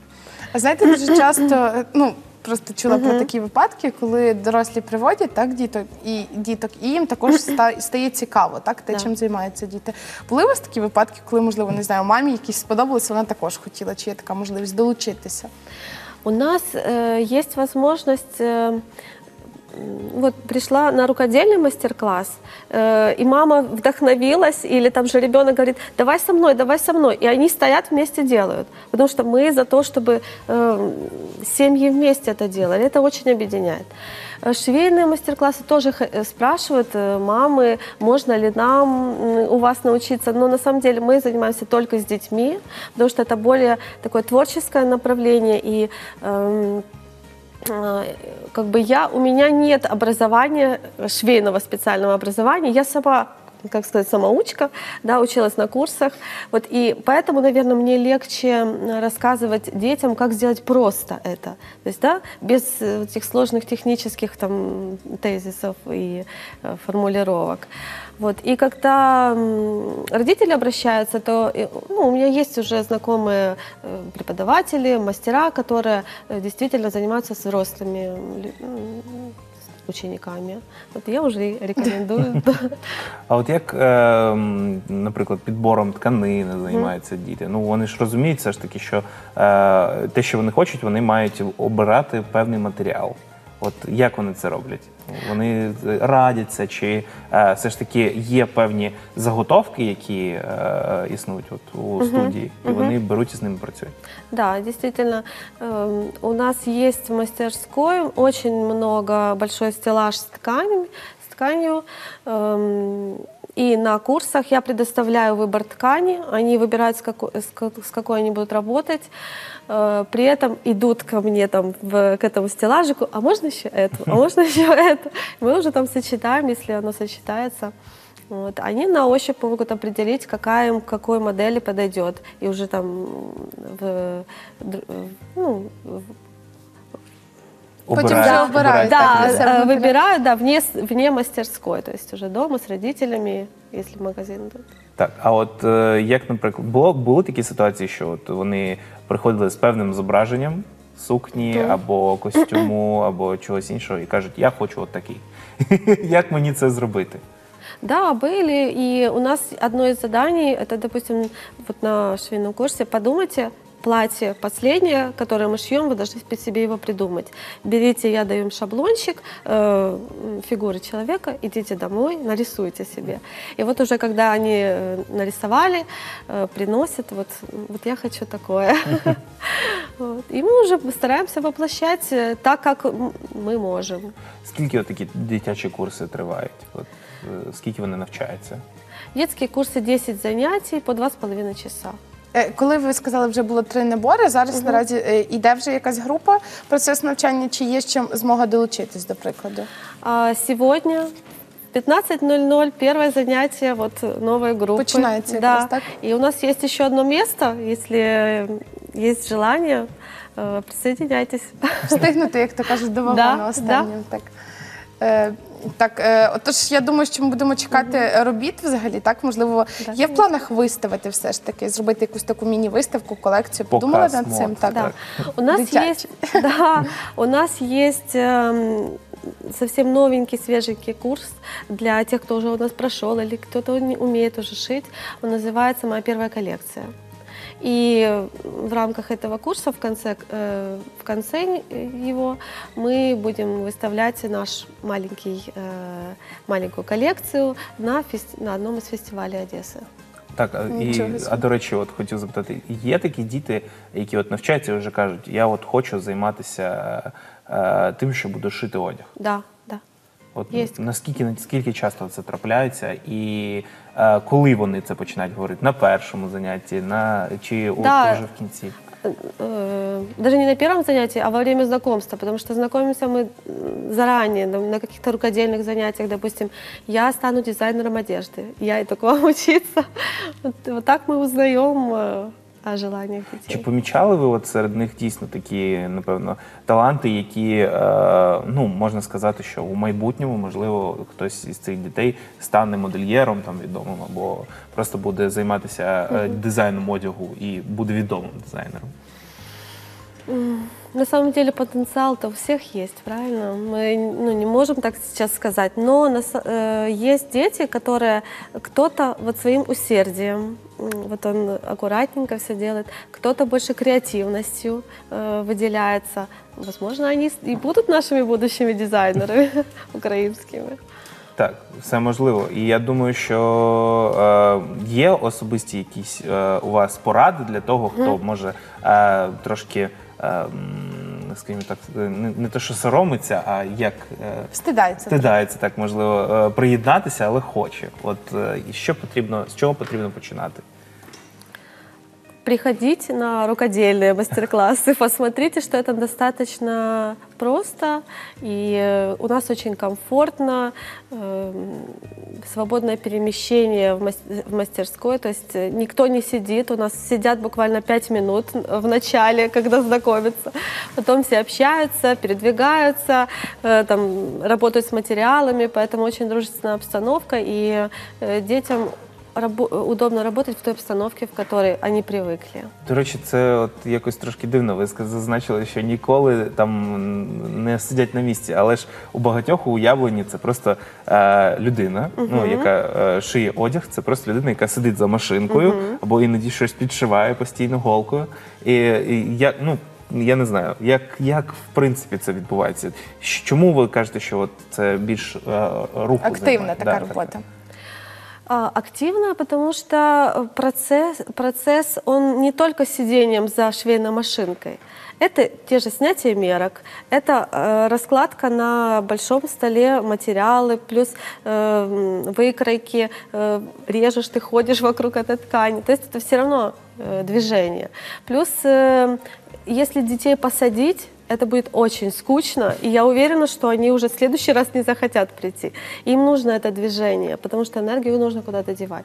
Поэтому они двигаются. Они тут поработали, там побежали чай попили с печеньками. Поэтому ну, так, така от... е, Так, можливо, у вас е, ростуть і вже вчаться відомі українські дизайнери майбутні. Да, Будемо чекати можна. перших колекцій, обов'язково слідкувати. Хочемо нагадати нашим глядачам, що на студії була Ганна Сорокіна, це засновниця студії Сорокі. І хочу ще раз нагадати, що у вас є змога долучитися до курсу. Так, і якщо ваші дітки люблять шити, чи ви бачите в них потенціал, то обов'язково запрошуйте до студії. А ми наразі будемо продовжувати наш прямий ефір нашою традиційною рубрикою промови з нашою колегою Анною Терзівець.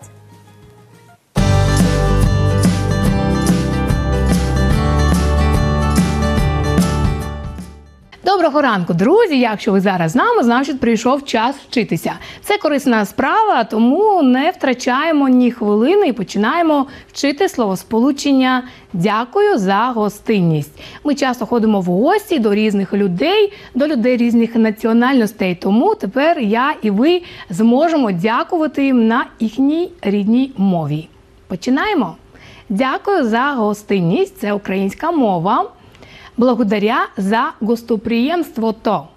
Це болгарська мова. Благодаря за гостоприємство то. Дуже легко, так? Давайте ще раз. Благодаря за гостоприємство то. А зараз молдавська мова. Mulțumesc pentru ospitalitate. Давайте ще раз. Mulțumesc pentru ospitalitate. Ось так, правильно. Mulțumesc pentru ospitalitate. Ще раз. Mulțumesc pentru ospitalitate. Mulțumesc pentru ospitalitate. Друзі, а зараз прийшов час е, вивчати гагаузьку мову. Мусафірлініс і чин чок са алунус. Бачите, сьогодні е, з гагаузькою мовою дуже складно, але зараз ми з вами разом вивчимо це словосполучення. Давайте повільно. Мусафірлініс і чин чок са алунус. Ще раз. Мусафірлініс і чин чок са алунус. І ще раз, давайте швидше. Musafirlinis için çok sağ olunuz. Musafirlinis için çok sağ olunuz. Я вивчила, а ви? Ну, давайте для того, щоб вивчити на 100%, будемо повторювати. Дякую за гостинність. Це яка українська мова?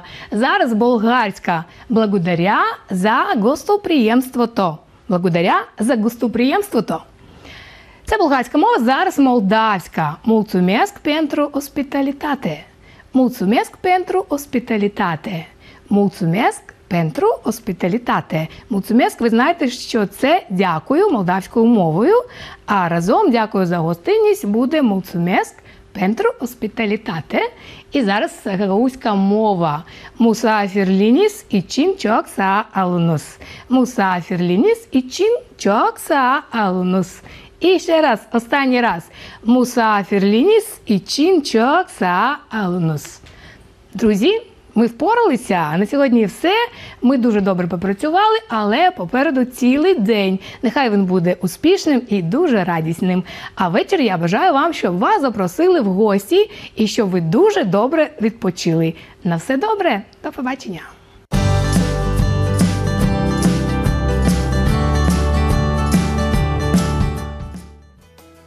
Друзі, зараз перервемося на політичну невеличку рекламу, після чого продовжимо.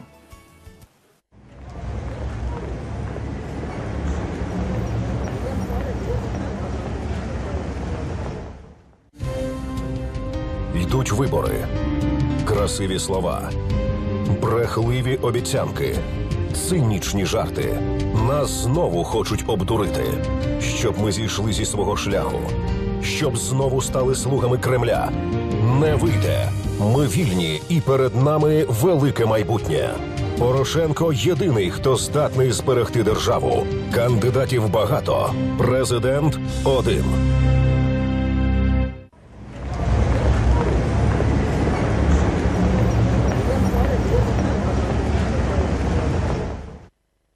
Друзі, ну що ж, ми продовжуємо. Принаймні зараз хочемо зв'язатися з нашою колегою Катериною Булучовою, яка готується до наступного випуску новин. Катю, вітаємо тебе знову. Доброго ранку. Знову вітаю Володимире. Лілі, так рада вас бачити. Ви такі позитивні, усміхнені. Не знаю, ваша пара завжди викликає такі радісні емоції. Я і Сара, кльова Ти пара. А ми з Тамарою ходимо парою. Так, так. Пішов Жванецький по-новому. так? Так, багато, багато чого а, дійсно можна додати. Ми дякуємо і тобі за те, що ти е, завжди зазвичай з нами е, висвітлюєш новини Одещини. Отже, я думаю, що багато цікавого ти підготувала. Також е, чекаємо на новини від тебе. Да, дякую за слово. Давайте перейдемо до випуску новин.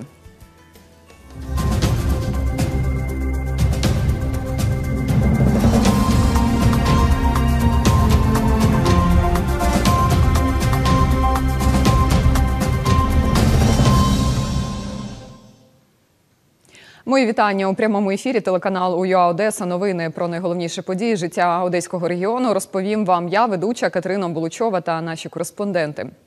Сьогодні о 10.30 у Київському районному суді Одеси відбудеться судове засідання у справі розслідування пожежі у дитячому таборі Вікторія. Попереднє засідання було 27 лютого. На ньому допитали свідка Наталію Ковальчук, матір постраждалу дівчинка, яка на момент пожежі відпочивала у таборі Вікторія. Матір дитини розповіла, як почувалася її донька після пожежі. Полгода она только спала со мной, боялась, ну как ночью судороги были, она как бы чуть срывалась. В магазин она вообще не ходила. После пожара она мне всегда говорила, а вдруг со мной что-то случится. То есть она меня вообще, ну, сама никуда не ходила, ни в школу, а теперь, слава богу, она уже успокоилась. Адвокати Петроса Саркісяна тоді також клопотали про результати незалежної експертизи, яку проводили для з'ясування причин пожежі. Суддя у справі Віктор Чаплицький дозволив їх оприлюднити. Были допущены, допущены грубейшие нарушения уголовного процессуального законодательства, э, в частности, а именно в части э, того, что не должна она была быть проплачена кем-либо, она должна была быть проведена за счет э, денег, э, заложенных в госбюджете Украины, это раз. Во-вторых, не следственный судья, а сам следователь должен был назначать проведение этой экспертизы. И третье, она должна была быть проведена в государственном экспертном учреждении, как то требует закон о судебной экспертизе. Наверное, выводы экспертизы, наверное, очень интересные, и не все хотят э, услышать выводы этих экспертов. Но мы их не читали, но надеемся, что э, эта экспертиза э, выдаст все-таки причины пожара, потому что сейчас слушаем это дело по маразматичной ситуации, не зная причин пожара, человека обвиняют по 270 части 2 Уголовного кодекса Украины. Э, Нами, как защитой, было заявлено ходатайство об истребовании этой экспертизы. Эта экспертиза проводилась в рамках выделенного уголовного дела, которое находится в производстве областного следственного управления. Нагадаємо, трагедія у таборі Вікторія сталася в ніч на 16 вересня, півтора роки тому. Спалахнув один з дерев'яних корпусів. У ньому було 42 дитини. Троє з них госпіталізовано, троє згоріли. Рештки 12-річної Сніжани Арпентєвої змогли ідентифікувати тільки через тиждень. Наші журналісти будуть присутніми на судовому засіданні. І з подробицями про нього вони ознайомлять вас у наступних випусках. Сьогодні о 16-й годині у Київському районному суді Одеси відбудеться наступне засідання по справі Максима Литвина, якого звинувачують у жорстокому поводженні з тваринами. На минулому засіданні 7 лютого покази давали свідки. Віра Тимошевська та Юлія Карагіус, волонтерки зоозахисниці, які давали на утримання маленьких котів Литвину та його співмешканці Валерії Скибицькій. Говорила і сама Валерія. Ира отдала кошечку Еву, которую я хорошо знала. То есть она была нормальная, кошечка. И уже забрала она ее ну, в изуродованном виде. То есть она была, ну, она была побита, она была мокрая, она была, она, она, она была и фломастером вся разрисована, знаете, вот, ну, как чепрак, господи, резать. Эта кошка, она была дикая еще и в апреле месяце. То есть она боялась, она боялась рук, она боялась людей. Это маленькая, мы уже Люся ее назвали, чтобы как-то поменять. То есть она была, ну, сломлена кошка была, понимаете. Когда мы приехали, нас было человек 5-6. Разбирательство было очень шумное, громкое, на парадной. Мы просили обратно животное. На тот момент мы уже узнали, что животное было, как сказать, пострадало, потому что Валерия сама призналась, она говорила, что они выбросили его через окно, что оно пострадало, что оно все не принесли обратно его в крови. Да, виноват, виноват. Двоих животных мучил. И мучил серьезно. И недавно я узнала, что рыжий котенок вообще без лап остался. Это тот кот, который прожил у нас полгода. Началось все вот с рыжего кота. Сначала рыжий кот пошел. Он, получается, когда он скинул с седьмого этажа, э, мы его неделю искали. И потом вот нашли через неделю. У него, получается, внизу лапы разорвано было, внутри лапы, это задние лапы тоже разорвано было. Ну, я зеленкой помазала, я, я же не ветеринар. Потом к нам начали люди ходить. Потому что сначала поднялась соседка шестого этажа, начала меня спрашивать, а где ваш кот? Я говорю, Максим, ну рассказывай, как все было на самом деле. На минулих судових засіданнях обвинувачуваний свою провину не визнавав. Прокурор та адвокат обвинуваченого пообіцяли прокоментувати справу на сьогоднішньому засіданні. Там будуть присутні наші кореспонденти. Подробиці дізнаємось із наступних випусків. Нагадаємо, що раніше Максим Литвин притягався до кримінальної відповідальності за зґвалтування та умисне убивство. Зазначимо, що за жорстоке поводження з тваринами закон передбачає від 5 до 8 років позбавлення волі.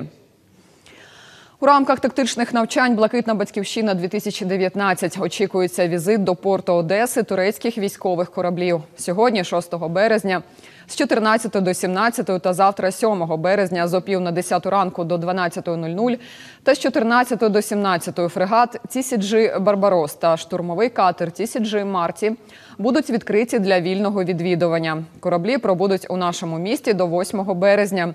Усі громадяни та мешканці міста запрошуються відвідати кораблі. Сьогодні їх на власні очі побачать мої колеги. Вони розкажуть усе і покажуть у наступних випусках новин на каналі ЮА Одеса. І за повідомленням синоптиків гідрометцентру Чорного та Азовського морів, сьогодні у середу 6 березня по Одесі та області очікується змінна хмарність. Ввечері можливий невеликий дощ. Температура повітря від плюс 4 до плюс 10 градусів. Вітер південно-західний та західний 2-4 метри на секунду. Температура морської води плюс 4 за Цельсієм. Такими були найцікавіші новини на цей час. Залишайтеся з нами. Далі буде більше. Бажаю вам всіляких успіхів та піднесеного настрою.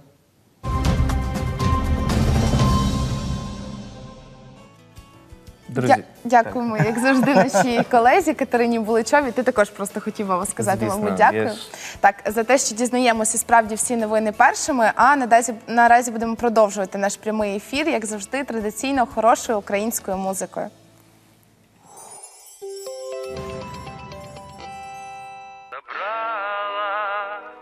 Ти мої сни забрала, аж до весни змогла перенести, що стала. Не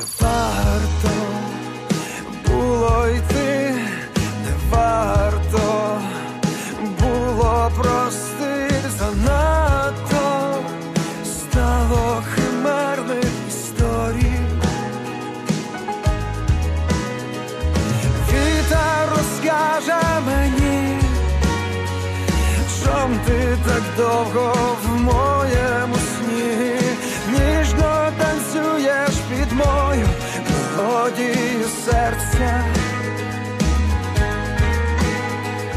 Якщо ти можеш прости, очі хустинкою лагідно втре, сядь і мені заспівай мелодію серця.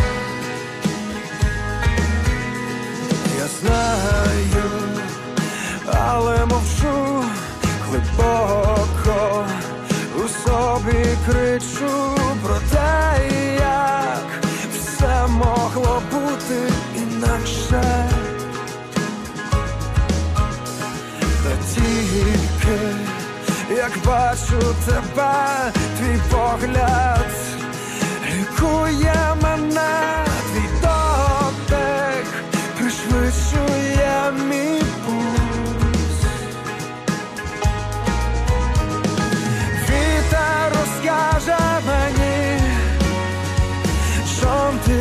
довго в моєму сні, ніжно танцюєш під мою мелодію серця.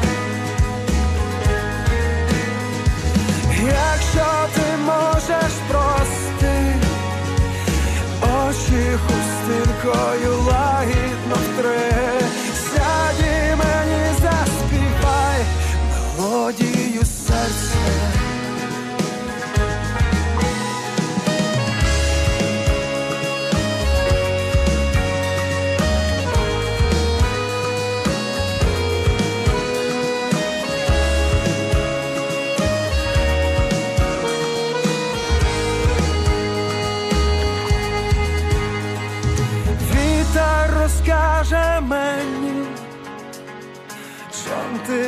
Довго в моєму сні, ніжно танцюєш під мою мелодію серця. Якщо ти можеш прости, очі хустинкою лагідно втре,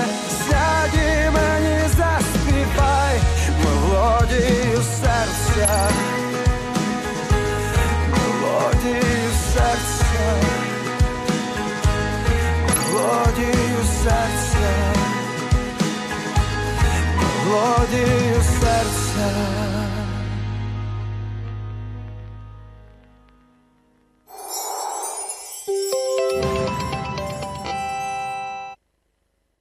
Ж, принаймні, ми готові продовжувати далі нашу програму. У нас наші гості також вже е, зараз в студії присутні, і е, ми готові їх представити. Сьогодні до нас завітали е, актори театрального простору Тео. Е, також є серед них і режисер Іван Макаренко, е, також Ілля Шульга. е, І Олександр Мірошніченко. Це все ак- акторська трупа і режисерська е, спектаклю Муха Цокотуха. Друзі, я так розумію, що це спектакль експериментальний.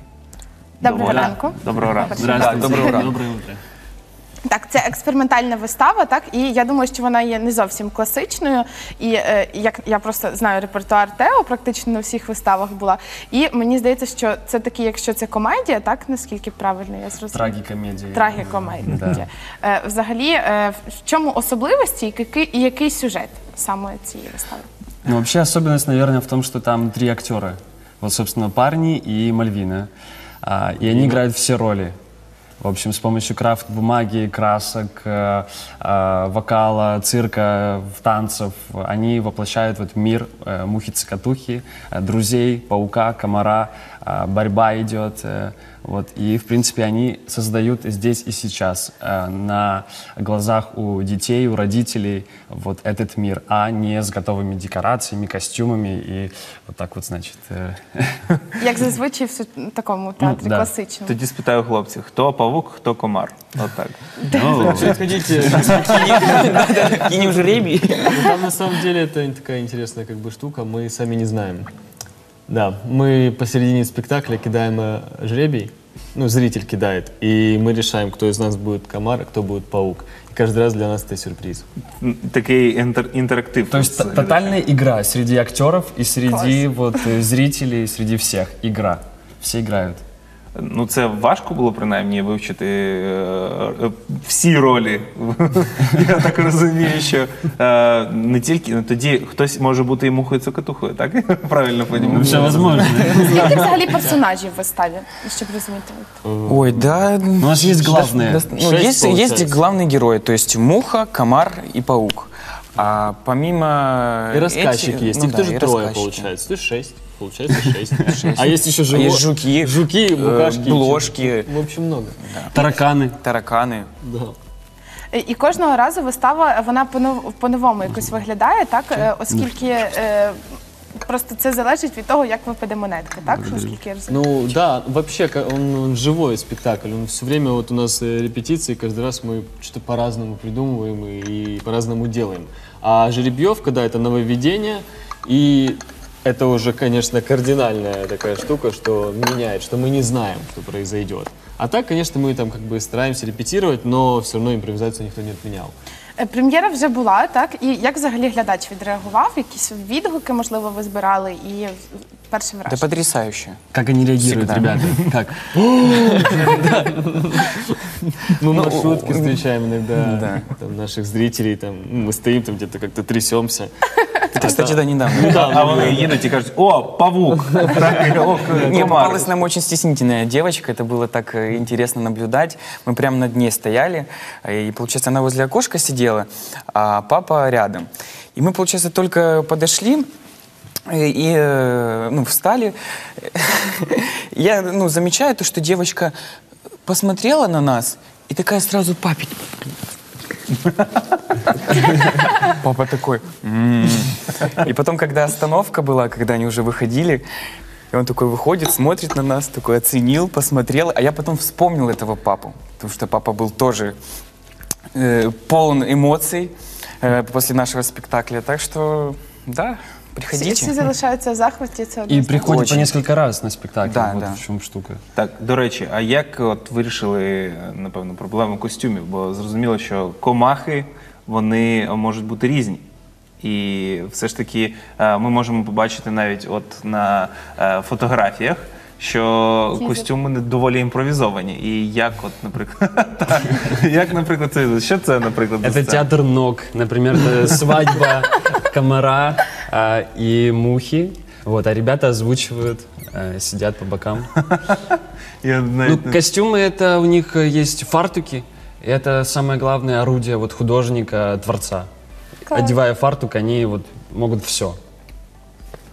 Як от ви собі уявляли цей спектакль, коли його ставили? От я хочу запитати як режисер. А, ну, конечно же, во-первых, это вечная история дружбы, любви, э, смелости. А с другой стороны, это такой театр про театр хотелось сделать, где есть актеры, которые жаждут, жаждут внимания зрителей а, и постоянно борются за это внимание. А, И, конечно же, выдумывают, с помощью чего это сделать, с помощью сторителлинга, а, танцев, вокала э, и так далее, с помощью ног.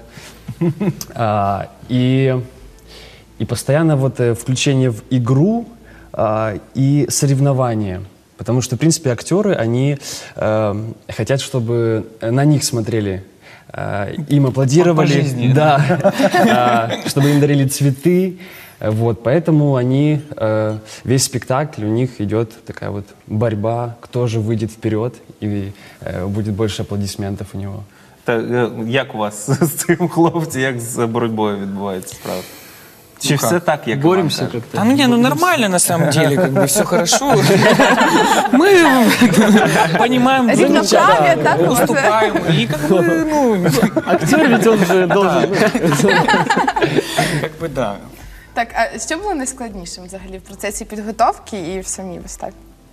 Подготовки, конечно. Ну, это, мне кажется, подготовка это самое и интересное, и сложное. Ну, якісь моменти, які, можливо, запам'яталися, можливо, якісь були е, не- непогодження з режисером, чи, можливо, актори щось відмовлялись робити, чи щось своє додавали. Чи все ж таки Іван Суровий режисер і каже, от так от буде, я сказав. Не, естественно, разногласия всегда есть, и мы всегда... Извините. Чай пей. А, Да. Разногласия всегда есть, э, потому что, э, ну, как не спорить с режиссером?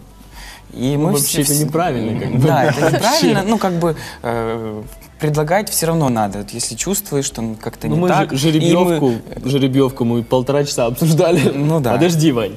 Подожди. То есть я послезавтра буду, может быть, комаром. Хотя я обычно паук. Подожди. И мы вот полтора часа мусолили эту жеребьевку, и он нам, и мы ему. И, ну, пришли к мнению общему, жеребьевка осталась. Ну, Тобто це відбувалося е, ну, з- трошки е, раніше, ніж е, відбувався спектакль, я маю на увазі жеребкування. Чи все ж таки е, сам, от, як Іван зазначив, сам процес відбувається прямо е, імпровізація, така м, підкидують е, монетку. і- Жеребьевка, да, она происходит прямо на спектакле. То есть мы не знаем, кто будет. То есть вот мы надеемся, конечно, что наши прежние роли будут, к которым мы готовы. Но хотя мы уже два раза отыграли роли друг друга, и поэтому уже как бы не так страшно. Ну, а у кого яка улюблена тоді? Я так спитаю. Я п- питав, хто павук, хто комар, а хто, хто як- кому який персонаж більше подобається? Ну, Мне паук больше нравится. Мне паук не нравится. Почему тебе? Тебе всегда нравится. Не, Мне подожди. кажется, самое главное это вот атмосфера э, дружбы, веселья, потому что всегда на репетициях это кайф, это анекдоты, это, Это 12 какой-то трэш. ночи, когда начинается. У Да. нас после 12 начинаются вот эти оборотни, которые просыпаются и не дают покоя режиссеру. Мы начинаем что-то свое делать. И потом, когда они выходят и вот на зрителя, и это чувствуется, что есть что-то общее и э, внимание друг к другу. Э, Это очень классно. Енергетика, мені здається, це найважливіше. А те, що ти актор. взагалі, так, взагалі, як вам такий майданчик, як Тео? От, ну як працювати з е, на такої на такій сцені? Бо зрозуміло, що і е, спектакль ну більш підходить для такої дитячої аудиторії, яка за- найчастіше відвідує там театр юного глядача, наприклад. Ну от е, хотілося запитати так. Ну, вообще театральное пространство э, очень уникальное в Одессе. А, Можно сказать спасибо Юлии Юн э, за а, нереальное э, как бы место, силы, где собирается очень много классных людей, обмениваются опытом. А, Спектакль сделан 360, когда зритель сидит и не понимает, где же актеры, они там появились, там, там, на балкончике пробежали, где-то выкрикнули, поиграли на пианино, а, на рояле. А, Поэтому мы как бы а, обосновали пространство и охватили его полностью. А, Потому как играть э, в другом месте, а, пока вот не знаю как, хотелось бы поехать на фестивали, на гастроли, но, наверное, будет сложновато, потому что это вот спектакль специально для Тео. Підібраний саме під локацію. Да. Але сьогодні я думаю, що це спектакль, ну принаймні якийсь невеликий фрагмент буде е, не тільки для Тео. Е, Ми напевно запросимо зараз хлопців е, невеличкий такий експромт зробити. Да, конечно, только прервемся сначала на небольшую рекламу. Маленькую рекламу. Так, хлопці, поки е, йде реклама у нашій фантазії, вони готуються принаймні зараз. Я. Е, так. А по- 9 9 числа В 12 часов дня. в театральном пространстве Тео. Спектакль «Муха Цокотуха». Приходите. А сейчас не переключайтесь, дорогие друзья, потому что у нас действуют очень большие скидки. А спросите, на что скидки? А скидки у нас на самовар. Потому что с Конечно. помощью самовара можно обрести много друзей и, конечно же, любовь. Естественно, а где купить самовар, спросите вы? Здравствуйте. К вашему вниманию мы продаем чай. Очень, вкусный, чай. чай. Пейте Чай. чай. Чай ромашковый. Чай. Облепиховый. Чай вкусный. А сейчас очень важная новость, потому что из городской тюрьмы сбежал опасный злодей, преступник, паучок по кличке Старичок. И сейчас на связи наш репортер, наш оператор, наш журналист, наше все, наш Олег. Здравствуйте, Олег. Скажите, пожалуйста, что происходит на месте происшествия?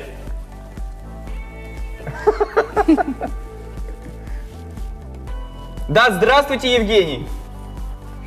Скажите, Да, Олег, я именно сейчас нахожусь на этом месте, откуда сбежал старичок по кличке Паучок. А скажите, Олег, а что же делать, если мы его все-таки встретим, и где мы можем встретить? Скажите, Олег, нам очень интересно, Олег. Да, есть прекрасное средство, называется спрей 9 числа в 12 часов дня. в театральном пространстве Тео. Спектакль «Муха Цокотуха». Ждем всех. С нетерпением. Браво, браво, браво, браво. Клас! Хлопці, а от тоді е, запитаю, я так розумію, що це не дуже канонічна постановка в уявленні, е, там, наприклад, того ж е, Корнія Івановича Чу- е, Чу- Чуковського була б. Не, почему? тобто- Чуковский был э, творческий парень. У него каждая строчка новое событие. И она сделана так, что это такая музыка льется, э, поэтому вот э, каждое новое предложение нужно по-разному играть. И можно вообще одно предложение сделать целый спектакль. Так, Э, ну- Там копать и копать. Ну, принаймні, зараз це була імпровізація, чи це все ж таки фрагмент спектаклю, який ви е, демонструєте? 50-50. Так, ну У зрозуміло, нас що есть этот телевизор-спектакль, у нас есть рубрика новостей и реклама самовара. То есть там это... Ну, чому я запитав про неканонічність, тому що все ж таки у Чуковського новин не було. Бо Тоді телевізора не було. А, але все ж таки це рифм- е, римований е, спектакль, все як потрібно. Я маю на увазі. Е, Сценарій саме я хотіла запитати. Е, Це е, сценарій е, авторський, ви дороб... якось робили його, чи це прописаний сценарій, все ж таки готовий? Э, Сценарий, э, сценарий мы вместе писали. А, С на- актерами, так, все да, разом? Да, Группа? на основе а, э, текста, сказки. А, Кажуть, що це не дуже культурно. Якщо він Але грає вам павука, можна, йому ви ж можна. актори. Э, вот, поэтому э, сценарий рождался на репетициях, э, которые также проходили очень весело. И, и что интересно, что спектакль меняется. С каждым показом он каждый раз новый. Поэтому зрителям интересно вот приходить еще, еще, а что же изменится, а кто, кто же будет играть кого. Вот, поэтому... А як підбирали акторів ви як режисер? Ну, актеры... Был кастинг. Значит, э, кастинг У на... нас дома? Конечно, ребята прошли на э, тараканов, э, на блошек, но Ну, я, Просто никто не пришел больше. но я увидел искру, увидел эту изюминку потрясающую. Ребята закончили театральное училище, так же, как и я, поэтому что-то общее было между нами. И мы встретились первый раз на кастинге, мы не встречались никогда до этого. У нас есть прекрасная Мальвина. Так, якої сьогодні немає, вона мала Да, мы бути. так. передаем привет большой. Да, Мальвина. Мальвина, привет. Мы ее оставили в Солнышко, такси привет. просто. Да. Доброе утро. Ай, три, три, три, та, ай, три. Так, е, тож чому вона сьогодні нас не відвідала? Тобто, хоч- хочете запитати? Мне кажется, она готовится э, к Репетирует. Ага. к роли. Она Да. неугомонная. Так, ну окрім муки, мухи цокотухи, плануєте ще якісь е, спектаклі ставити от подібного жанру? Ми бачимо, і афіша зараз у нас є е, дуже така нестандартна, е, як для ну, дитячої вистави про муху цокотуху. Кстати, да, вот Кстати, афиши. все эти рисунки это нарисовали вот дети после спектакля. А, он- Мы приглашаем их на сцену разрисовать вот всю сцену крафта. А, Мы даем им фломастеры, и вот это их рисунки, мы их э, Да, они на распечатали. самом деле Ну ты бы- тоже там рисовал. Эта Бабочка слева оранжевая, это ты нарисовал. А, Что-то еще делать? Конечно, хочется, да. Потому что, э, встретив таких людей, э, можно многое сделать, и это будет э, весело, э, это будет э, искусство. Ну И перестань, ладно. есть момент творчества, когда мы себя проявляем, э, мы, ты? мы в гармонии с самим собой. Э, Вот. Но мы хотим сказать, что в ТЭО есть еще много разных спектаклей э, и мероприятий. 9 числа, например, после «Мухи-цокотухи» у нас будет квартирник. Квартирник киевского проекта Sophistication. Это э, девушка из Киева, она играет на гитаре, э, поет милые очень песни, э, поэтому приходите. Э, еще будут вакханки э, 16 числа, э, 18.30. Э, тоже очень э, интересный, уникальный проект для Одессы. Э, вот. І більш І дорослий. Іфігенія, якщо я не помиляюсь, 27-го. так да, воно Ифигения 27 и 29. Так, Ну а отже, также 9, 9 марта в 12 часов дня спектакль Муха. Цокотуха». Какой спектакль? Муха Цокотуха. Спасибо. Е, тоді ще запитаюсь, е, все ж таки майбутні постановки це будуть е, більше е, стосуватися Чуковського, чи все ж таки вони і е, інші, е, інших авторів казок будуть е, задіяти? Чуковский гениален тем, что э, нет четких э, пониманий образа персонажа. Он дает намек на персонажа э, и бросает его э, на фантазию э, читателя, зрителя. Поэтому, как режиссеру, это просто нереальное поле для вот фантазии, э, каких-то своих смыслов, которые можно э, подложить под этот текст. Поэтому Чуковского, я думаю, мы не оставим в покое.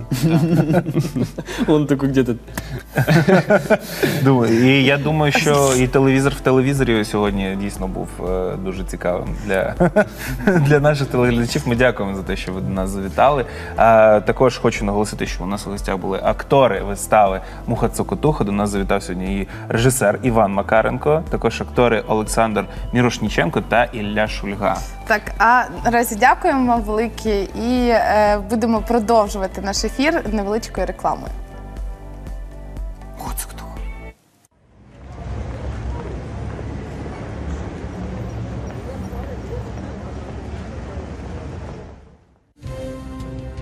Йдуть вибори. Красиві слова, брехливі обіцянки, цинічні жарти. Нас знову хочуть обдурити, щоб ми зійшли зі свого шляху, щоб знову стали слугами Кремля. Не вийде. Ми вільні, і перед нами велике майбутнє. Порошенко єдиний, хто здатний